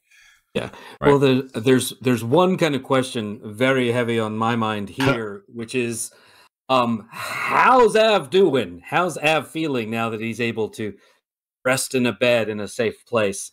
Uh, y- you are not feeling good at all. Uh huh. Um, do you want to cut forward? Do you want to sleep? Uh, Or I do you don't to, know. Do you want to, have, or do you want to have discussions like right now? Hmm. I mean, the We're gonna innkeeper have to get, we're gonna have to get the and- to with a blanket. Perhaps she can tell you what's wrong with you. Yeah, I mean, she is um, uh, True. uh, more uh, advanced in the healing arts than uh, Yeah. So than I am. Estelle took you aside the moment that you kind of showed, like she immediately pegged you as like hurt, right? Yeah, Um, yeah, yeah. Uh, now your gods don't align, but you are part of the same pantheon. Um, Uh-huh. So uh, she worships Tychius. Um, you worship Lycion. Uh, Yvette worships Debelaton. Debelaton um, is like a, a might makes right, like like very Just yeah. And she's like uh, for her, it's like Darwin's Dar, Darwin Dar, Darwinism, right? Like she's like you're already a lost cause. Like you're, you're like when she You're looks at screwed, when she looks at you, you're like the Walking Dead. Like Uh huh. Dismisses you as like a non-issue. Doesn't want to talk to you. Okay. Has no desire to go through uh, what what you're what's going on with you. Um, however, uh, Estelle is much more. Um, uh, she's a sneaky person, as you know, uh, Mhm. but she's got a good heart, uh, at least on the surface. And so she takes a look at you, and uh, she quickly determines that you are in deep shit. Uh, so you this have is not been. a surprise. Yeah. she she asks you like what happened. Do you do you do you obfuscate that, or do you just sort of tell her like I drank randomly from a thing that helped us the first time, and then the second time it fucked us? Yeah. Yeah. Exactly. Yeah. I, I would tell Okay, her. you don't hide it from her. No. No. Okay. Um, so she is baffled by that. She can't make heads or tails of it, but she's like, you obviously consumed something that was not good, and um, you unfortunately have a, a wasting disease of some sort, and uh, you are uh, on a one-way path uh, to a to the end of your mortal life, basically. Um, you will continue to every day. You're going to feel worse and worse and worse until you finally end up just not being able to hold yourself up and you will pass away. Um, and she said, I'm sorry to have to say it so bluntly, but uh, Oh. you should have, when you are this close to your God, I feel that we should not mince words. Um, Um. and and if, if we were playing a game of called Dungeons and Dragons, and we had to assign a mechanical value to what's happening, you will be uh, you'll be losing one point of Constitution at every sunrise, oh. unless that's- you are able to find Ah. someone with much uh, with someone, and she sort of like presents herself. Uh, if you yourself have enough coin, all possibilities are open. She says. There, there's the kindness leaving the room. Uh-huh. Yes, exactly. There are certain there are certain followers um, uh, who are in great favor with their gods, who may be able to uh, lift such curses and diseases from those afflicted. But a proper donation to the cause would, of course, be would not be looked uh, unkindly at. Give her the Uh, jade necklace. Tell her she looks pretty. she does look very nice at this point. And uh, how how uh, what kind of uh, donation are we talking about here? So I'll skip I'll skip through her um, role playing, but we've we've talked about this before. I believe it was with Onweir, whenever or was it Onweir or Varger? It might have been Varger. Varger, I think. Yeah. I can't Um, remember. So basically, if you want shit done at the end, it costs a lot more than it does at Gosterwick. Uh-huh. So Uh-huh. uh, you already know this. You discovered this that it um, at the temples back in Gosterwick, uh, a remove curse, which is what you need, right? Uh, it's it could either be cure disease or remove curse. Doesn't really matter. They both cost the same Okay. and, and have about the same availability. At the high temples um, in Gosterwick, like the really powerful temples, you can get um, as long as you're not like directly opposed from the god that is, you know, at the temple. Mhm. Uh, you can get a cure disease or remove curse for 500 gold. Estelle, though, she can do both. She doesn't care, but it's going to cost 1,000 gold. Now that was a that was like an instant no, uh, many many weeks ago. But Mhm. uh, you guys got some cash right now. Uh, Plus, we have what was left behind here when we went down last time. Uh, we we left some stuff um, in storage. Like we act, we absolutely have a thousand gold you Don't can for- use. Don't you forget want. too. I just want to put it in context that uh, Estelle, you know the god she worships. She has exhibited suspicious behavior before. You know that there's Mhm. something going on with her and Kronos with the halflings, also with something behind the bar that you have yet to investigate. Uh, and the god that she worships, Tychius, is known for trickery and deceit. Um, mhm. So uh, you can't just just all that added up. You can't be hundred percent sure that the diagnosis she gave you is absolutely true, but it sure does line up with how you're feeling. Let's put it that It way. feels how uh, it feels about right. Well, here's here's what I think. Um, I think I don't want to. Uh, it seems foolish to go to Gosterwick right now. I think we should. I think we should sleep. I think I, you know, I will be able to tell some veracity to her story when I wake up in the morning. See how that goes, and then um, either way, I think tomorrow we go to Gosterwick straight away. I mean, they will be able to more treatment options are going to be available. I'll be able to seek a sef- second opinion more easily down there. Okay. Okay. So we're gonna sleep through the night. All right. So uh, first of all, uh, you guys have already paid for your private room, Right. So I don't think even Onweir because you already paid for yours, then the bunk room doesn't cost anything, so I don't have to do that. Um, if you want food, uh, or do you want to eat your rations? Food. I want food. I want- Okay. if Uh, I can hold it down, I want to eat it. eat off the bone and malt beer. Yeah, you're famished, and you can definitely afford it. If you want a rich meal, um, it's two gold per person. It's two silver for a simple meal, which is what you've been getting so far. You wanna you wanna spend a little and get Oh some, no, some decent splurge! food. I want I want the good stuff. I'm Splurge. I might die. I want to live it up. Okay, so please Absolutely. please mark on your character sheets. Please mark it. Um, I know that it's a small amount to the majority you have, but uh, if you want simple, two two silver. If you want rich, No, two gold. gold. I'll spend it for sure. Marking it off. Um, Okay, John, when the moon comes up, Yep. Mort will go outside and and sing the hymn of death for Squeegee oh, Aww. uh, in Goblin. Goblin. You know wait- what? You know what? I, I feel really bad. I'm going to. I'm going to get up out of bed, cough my way out, and I will go with Morton. And also, I will I will say a, I will sing the song, and I will say a prayer as when your best as I. when your voices are lifted up in remembrance of the death of Squeegee, Yeah. Hel, Hel, uh, Yvette can't not help but he overhear and recognize those hymns of death and remembrance. And she herself comes out and uh, uh, and her strange sort of like crone like form Hmm. sort of shuffles up next to you and she lifts her voice in a hymn to Debelaton. And strangely enough, despite like the ominous overtones of a worshiper of Debelaton and the way she looks, her voice like clearly ca- carries over yours and is like um uh, surprisingly beautiful and resonant and deep as she intones a dirge uh, which is uh, specific to the church of Debelaton um, and it's uh, quite beautiful Nice, nice. I will thank her for her uh her um her song right she uh, and for the memory of poor Squeegee, lost deep within our Arden Ardenvul. uh, she puts a, a a hand on your shoulder Mort and she says I did not know your uh, fellow companion but I am sure that he rests now in the warm embrace of great Debelaton for all time Was the world's greatest goblin. uh, David, you want to say something? Sorry. Uh, it's I. Oh, I. Well, we made it through the night. Don't worry about it.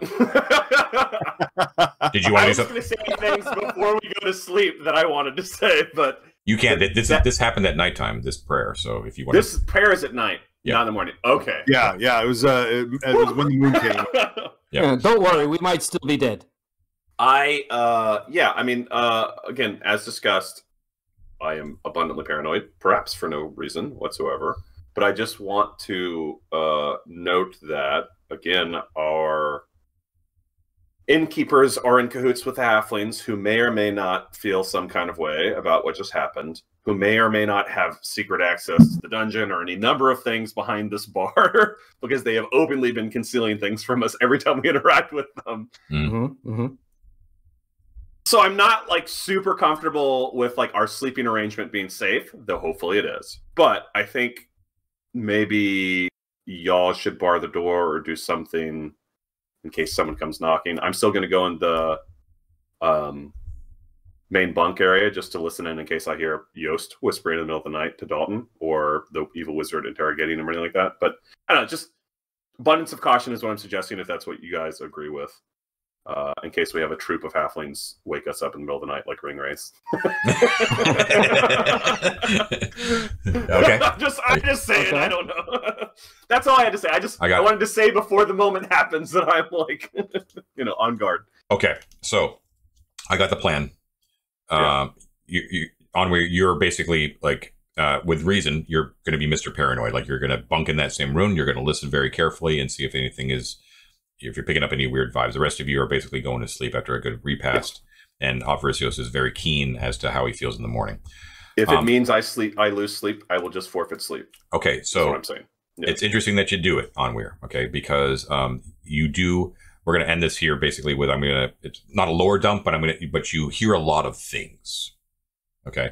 First of all, just like you anticipated, uh, there's there's merriment. Everyone sort of sits down in the dining hall, has a great meal, and all that sort of stuff, and then everyone sort of goes to bed. Right? You guys are absolutely exhausted. I can't. I can't like express that enough. Like the moment you f- you get good food in your belly, it just has a soporific effect on you where you just you want bed, right?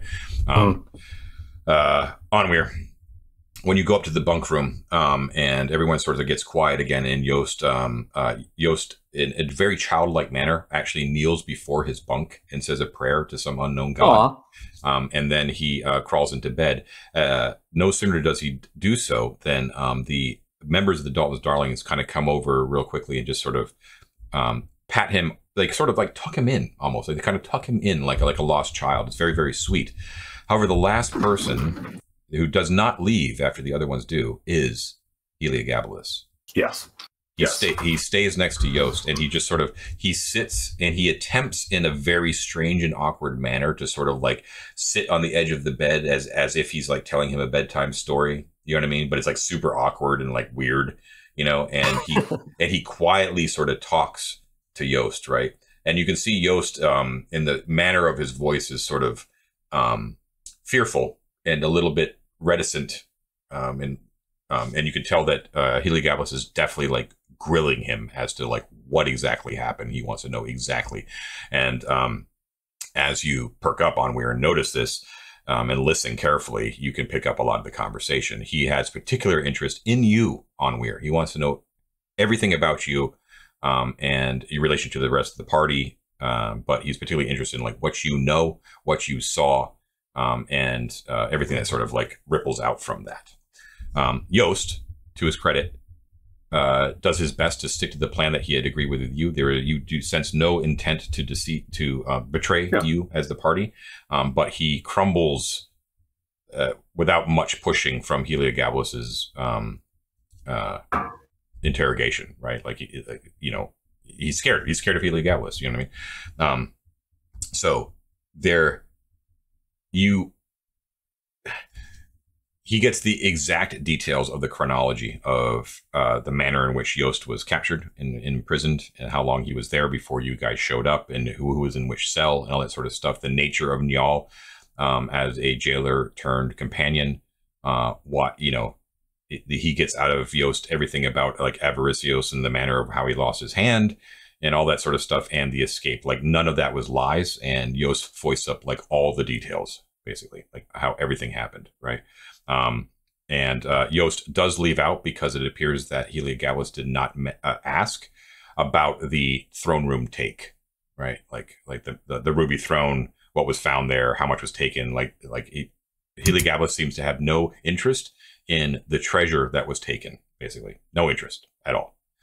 Um, he's more interested in you guys, right? Focused around Onweir. He seems to make the assumption that Onweir is the leader of the party. All right. Um, and he, Heliogabalus himself, in the way that he talks to Yost, it comes Thinks he across. Yes, yes. you got it exactly. Yeah, um, because naturally, only someone with knowledge on the level of of what you and uh, he share uh, would be fit to lead a party, right? Well, you're describing as sociopaths. Yes, exactly. Uh, and um, and Yost does his best to deflect when it comes to the point where you get to the statue room again and what happens after that point, right? Heliogabalus senses that there's something wrong with the way that Yost is deflecting because Yost just doesn't have that ability to deceive, right? Um, and but interestingly enough, Heliogabalus actually pulls back. You can you can hear and see that he doesn't push, right? But he definitely knows that Yost is hiding something. But he just sort of pats Yost on the back and he says, "Well, we'll talk later." He says, um, "You have a good sleep, Yost. You won't hear it from me in the future, of course, out in the open. But it is good to have you back. And sleep well, my friend." Um, thank you. It's it's good to be back. And he's like yawns and he stretches and goes to sleep.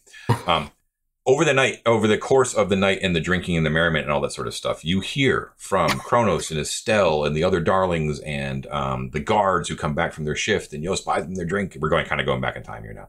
Yeah. Um, uh, you hear uh, some the following interesting things have occurred in the few days that you guys have been underground. Okay, lots of activity has happened, centered, not surprisingly, around the fact that the Hand of Arden is in use. Right, there have been multiple people um, coming up and down. Each of the people that have, uh, each of the parties that have been coming up have been escorted carefully by Knights of the Azure Shield, by the Popo. Okay. Um, no one has. Uh, it, this falls in line with exactly the the arrangement that you had made with Eusebia uh, back in Gosterwick. So uh, if it appears to be firmly in control of the Knights of the Azure Shield. Okay. Um, it is in use though, however. Uh, first of all, um, you hear that there is a, another well equipped party that is sort of doing something interesting in the city. Okay. Um, they stop at the end. They introduce themselves. They're known as the Five Fingers of Destiny, is what they call themselves. Everyone sort of, everyone sort of, everyone sort of chuckles around. You know, like especially Yeah, no Dalton's like, what a lame name for a party. Unlike Dalton's battle of the Darlings. bands. yeah. so the the the, uh, the five fingers of destiny um, are led by a turban-headed, robed, stout man. Uh, they assumed that he was a leader. Um, um, there was a couple of big warrior types. There was also a halfling uh, in there, a black-haired woman, and a man with a tattooed eye. They didn't give their names. A relatively quiet group, very mysterious, but seemed very, very capable. We didn't want to cross them. Um, they were seen crossing the bridge. Uh, let me get to it here so I can make sure that I get the correct one. I'll move over to Owlbear. Uh, are you guys hanging out just for a little bit while I dump this info on you? Oh yeah. Yeah, yeah, yeah. I'm loving this. Okay. Um, hold on one sec. Sorry. Burp, burp. Yes. Okay. You guys on Owlbear? Yep. Okay. So they were seen crossing this bridge right here. Okay. Um, and they were clearing away rubble on the other side over here. Okay. And then subsequently, they were seen. This is mostly the guards. Uh, the guards, by the way, uh, that uh, who are up in the towers, named are Egbert and Cassowary, are the two guards. Those guys saw the the Five Fingers of Destiny investigating at different times three obelisks, which are well known apparently to everyone at the inn. You guys have seen or have investigated one of them. One of them is right here. Right? Hmm. They were investigating that obelisk. And then they mentioned the other two. You actually saw the broken remains of one that was hiding behind the Yeah. walls of the Mhm. Moon Palace Yep. right here. Right? And then another one, which is new to you. Apparently there are three. And the other one is deep in the swamps. Wait a minute. Three obelisks, Three obelisks, yeah. three pyramids. Right I over wonder here. if they're connected. I wonder if that plunger would work on an obelisk. The last obelisk appears to be right here, if you wanted to mark that, perhaps. Oh yeah, let's There. get um. They were investigating those three obelisks. They were overheard at the Broken Head asking about the existence. They were specifically asking the statue brokers who were not able to help them about the existence of, quote, silver ankhs chased with red glass. And they showed one that fit that description. You remember way back, I believe in session two, when you investigated that obelisk, there was a deep inset ankh, as if an ankh could be placed in the inset. They were asking about silver ankhs chased with red glass. Um, uh, they have been in the ruins for some time, and at one point they actually met with uh, what the group, what the people at the inn call scholars. They're just known as scholars, and they uh, they all these scholars seem to be holed up. They feel, appear to have recently fortified this particular tower right here in the west. Oh, they appear to be like a group of sages or scholars all bent on some sort of uh, mission that they they feel that they're like looking for something within the ruins and have decided to make like a, a semi-permanent base right here at this tower. Okay um the five fingers of destiny uh uh, met with these scholars at one point after their investigation of the obelisk, and then they went back down the long stair. And they have not been seen since. Okay. Uh, interesting, like what their motives are, but they were seem focused on those obelisks. Crastonisterex, the great worm, uh, they've been seen flying more often, and just recently, yesterday, in fact, um, the guardsmen actually witnessed Cross. Uh, they call him Cross uh, as a nickname, like a. Um, and they actually saw him th- destroy a patrol of beastmen who had actually made their way up to the surface. beastmen who were, you know, had either rat or dog or pig or sheep faces, um, all dressed in like uh, old imperial regalia. You've heard stories about these people before, right? Um, Hmm. uh, they were out in the open, and Cross, uh, even though other people have been seen, like the scholars and the and the adventurers and you guys, right? You guys have witnessed the dragon a number of times and have never been accosted by him when the beastmen appeared, the guardsmen saw that there was a ravening hunger, and the and Cross basically dived like a peregrine falcon and uh, lifted those guys up and just ripped them limb to limb and shoved them down his throat in midair and mid-flight. Um, and interestingly enough, he actually saw uh, the the guardsmen actually saw at one point the scholars leave their tower in the west and actually make the long, dangerous trek through the mire to the southwestern tower, which is known to be uh, lair. The scholars actually went there themselves, which is also very mysterious. Um, they uh, they've been hearing uh, baboons at nighttime only, coming from the eastern tower, uh, right over here. Uh, hold on, I can't see that. A second. Uh, the baboon tower, way over there, huh? Yeah, way over there. They've actually only at nighttime they can hear them um, uh, screeching at night in that tower over there. Uh, and they've actually seen once again those weird scholarly robe types, not only going to the most dangerous part of the ruins, Crastonistyrex's lair, but also seen making the long trek past the pyramid down the eastern boulevard and making their way to that very tower. Hmm. Um, uh, yes. Then, lastly, and probably the most interesting to you guys, and we'll then we'll call it a night before we decide what to do with uh, your downtime. Um, as your ears perk up, but you hear about because everyone travels in groups, right? No one is an idiot enough to actually travel singular, singularly here in the ruins. However, there was one man. There was indeed one man who who emerged from an old from uh, one of the ancient priests' high residences, like one of the very high-ranking priests of Thoth. Um, uh, there's a lot of these villas that are around, but particularly we're talking about this one right here. Um, Okay. The little sort of Y shaped thing that's there. Right here. Yep, you got it. Yep. Mhm. That is the ruins of an old priest residence. And uh, when they talk about the day that they saw them, you guys are able to uh, re- you guys are able to piece together that this was the exactly the exact same day that you actually saw the knights traversing the long stair down.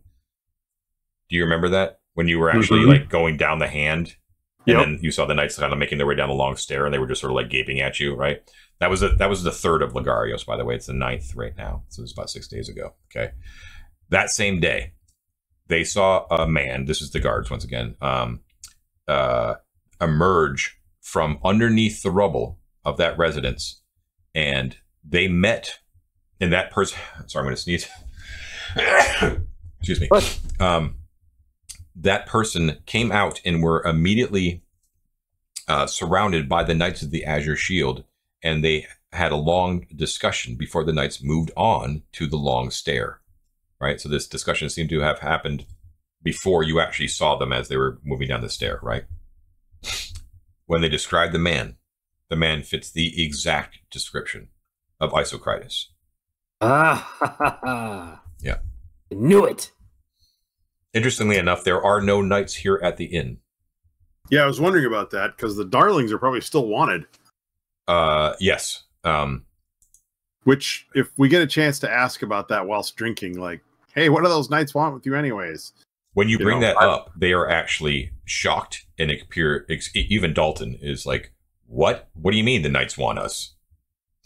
Um, Oh they- yeah, they were all over the place a few days ago hunting for you guys. Is They were that- really did, pissed. did I forget to mention that, gentlemen? This is Kronos. Oh, I'm so sorry. Yes, that's a yeah, that's a bit of an oversight on my part.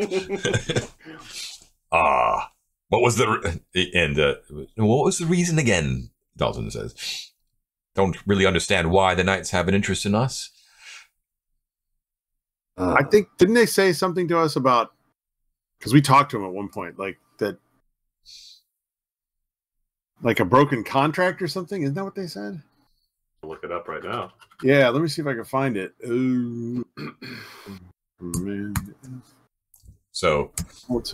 Um, it's it's news to them uh, about that, and so that that's like you can tell that sort of like took them by surprise. They're like, "Oh shit, that's uh, not good." oh, I didn't. I guess I didn't write it down.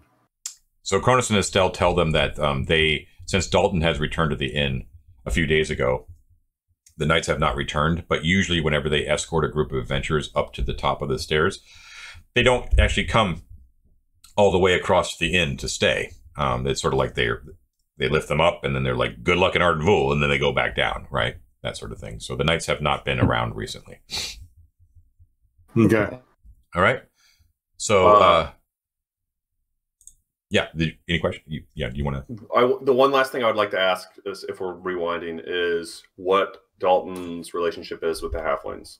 But I'd like to do it away from the bartender's ears initially. Gotcha. Yeah. Uh, so Dalton, he's the halflings. They're a bunch of bastards, as you well know. Uh, for our part, we don't like the toll that they ex- ex- uh, exact from us, but we're willing to pay. We are desperate, desperate, I might add, to find some other entrance uh, other than the top of the pyramid, which is why they have such power. I would I would give a lot if I understood exactly what they're planning on, what they're doing down there, other than extorting us. Uh, but, Onweir, my friend, my new friend, I have news for you. Now, if you pay the right price, of course, I might be able to. We discovered things on our retreat from the chasm. You obviously uh, escaped from a different manner, but we we found a way ourselves, a different path out of here. Might be willing to let you in on where that might be, should you be willing Uh, to give it a Okay, solid man, we got one. We got one. We got one of our own. well, what I was going to say is yes, I heard that, uh, or I intuited that the halflings did not let you back across the chasm. They did not. They'll pay Um, for that in the end. And indeed, I would ask uh, if we might come to an arrangement to handle that very issue should the need arise. Interesting. Open war. I like the way I like the way you're thinking. And, and this is over dinner, right? And he's like, this is Once over dinner. I'm not, like, once- once again, really I highly suggest that you think about other employment, perhaps with the Darlings. We may have a vacancy in the magic user department. uh, but no, I like the way you're thinking. Uh, we're usually, I I understand that we're a little bit standoffish. We're rival adventuring parties after probably the same sorts of thing: fame, fortune, secrets, lore. I'm not wrong in this, am I? Uh, absolutely not. You know, even But- Mick Jagger and David Bowie did a video together. Boy, that is an obscure reference there, man. Yeah. Strangely enough, Yeah, and which- more which is disturbing, which David Bowie and Bing? Crosby did it. However, uh, adventuring parties often tend to create uh, to uh, run afoul of the same factions within the dungeon, and sure. uh, uh, I do think that there is strength in numbers, and so I'm definitely interested in talking. So before you go back down to the dungeon, let's have a chat about Monsieur Plumthorn, shall we? I shake his hand and I say, uh, uh, indeed. And I'll talk to you about the other exit in the morning. I need some rest. Excellent. Yeah. All right. Then you go to bed and you hear all this stuff from Heliogabalus. Yeah. All right. Cool. All right. So let's pick it up there. You got a lot of info to digest. Um. I definitely want to talk about over Discord about what we're going to be doing in Gosterwick, and uh, we will, if if you plan to go there, um, and what the next plans are for the party, and we'll also uh, recapitulate all the XP and leveling up, and so everyone will get a Ah. yep, all that kind of good stuff. Oh, uh, one last thing. We'll end it on this right at the end, uh, as you wake up the next morning. And we'll for weather and all that kind of stuff. But as you wake up, Avaricios, you definitely do not feel any better at all. You have not healed any hit points, and you are minus one Constitution. Ooh. Okay. Right. So what Estelle told you does appear to be true, at least at this point. Right. Um, you will gain the hit points for leveling, but you do not gain the natural hit points for rest. The rest of you do gain one hit point from a good night's rest. Um, uh, you know what, uh, Matt? I'm wrong. You do gain the hit point from natural rest. So you gain the hit point, but you still lose the con. Lose the con. You lose the con, but you gain the hit point. Okay, so everyone's plus one hit point, including the NPCs. Um, and and the first thing we'll do next session is we will roll for weather, and we'll go from there. All right, Right on. Awesome. Good job, guys. all right, We yeah. got out. Great, great Yeah. job, gang. Excellent job. Huge, Hooray. huge thing for Mort that session for breaking through that door. Uh, wow. uh, that was a massive shortcut that I did not think that you were going to be able to make. Um, so that was well done. All Good job, Ted. cool. All Phenomenal right, job, Ted. uh, you guys have been And- watching 3d6 down the line. What's what's up, Ted? Well, I was going to say, Mike, who is dead to us, of course, is speaking to us from beyond the grave on our Discord chat. And he was like, Are we dead yet? Oh, we got news for you, Mike. Yes. No, too late. it was too late. I, Yeah. I gave him the good news, and he says, oh, that's good. Nice, Oh, yeah. I think I think Mike will be I'll tell him I'm kidding. Mike Mike, Mike will Yeah. be very Uh, proud Sorry, of us. the I think. TPK? Yeah, Tell, tell him we fell down the chasm and we have to climb all the way back up. uh, Mike's Mike's gonna be Yeah. very happy because you did it you did it smoothly and uh, with a shortcut and it was good. Oh, Yeah. oh, actually, one last idea. Tell him that I suggested we go into another route, and it opened up into this whole other thing that was really interesting. And we're actually going that way right now. We're actually further down. Uh, tell him David talked us into going that to that Uh. portal that was in the cat in the chasm. That's totally- I love it. All Thank right. you, John. That was a great session. Yeah, that was very very fun. in the comments, don't tell Mike that we didn't. Yeah, Yes, exactly. yeah. All right, guys. Yeah, you've been watching 3D6 down the line. Please don't forget to like and subscribe and please spread the word. Next week, uh, there will not be an episode because yours truly is going to be at GaryCon. And I know none of you guys are going to fault me for that because it's going to be the shit.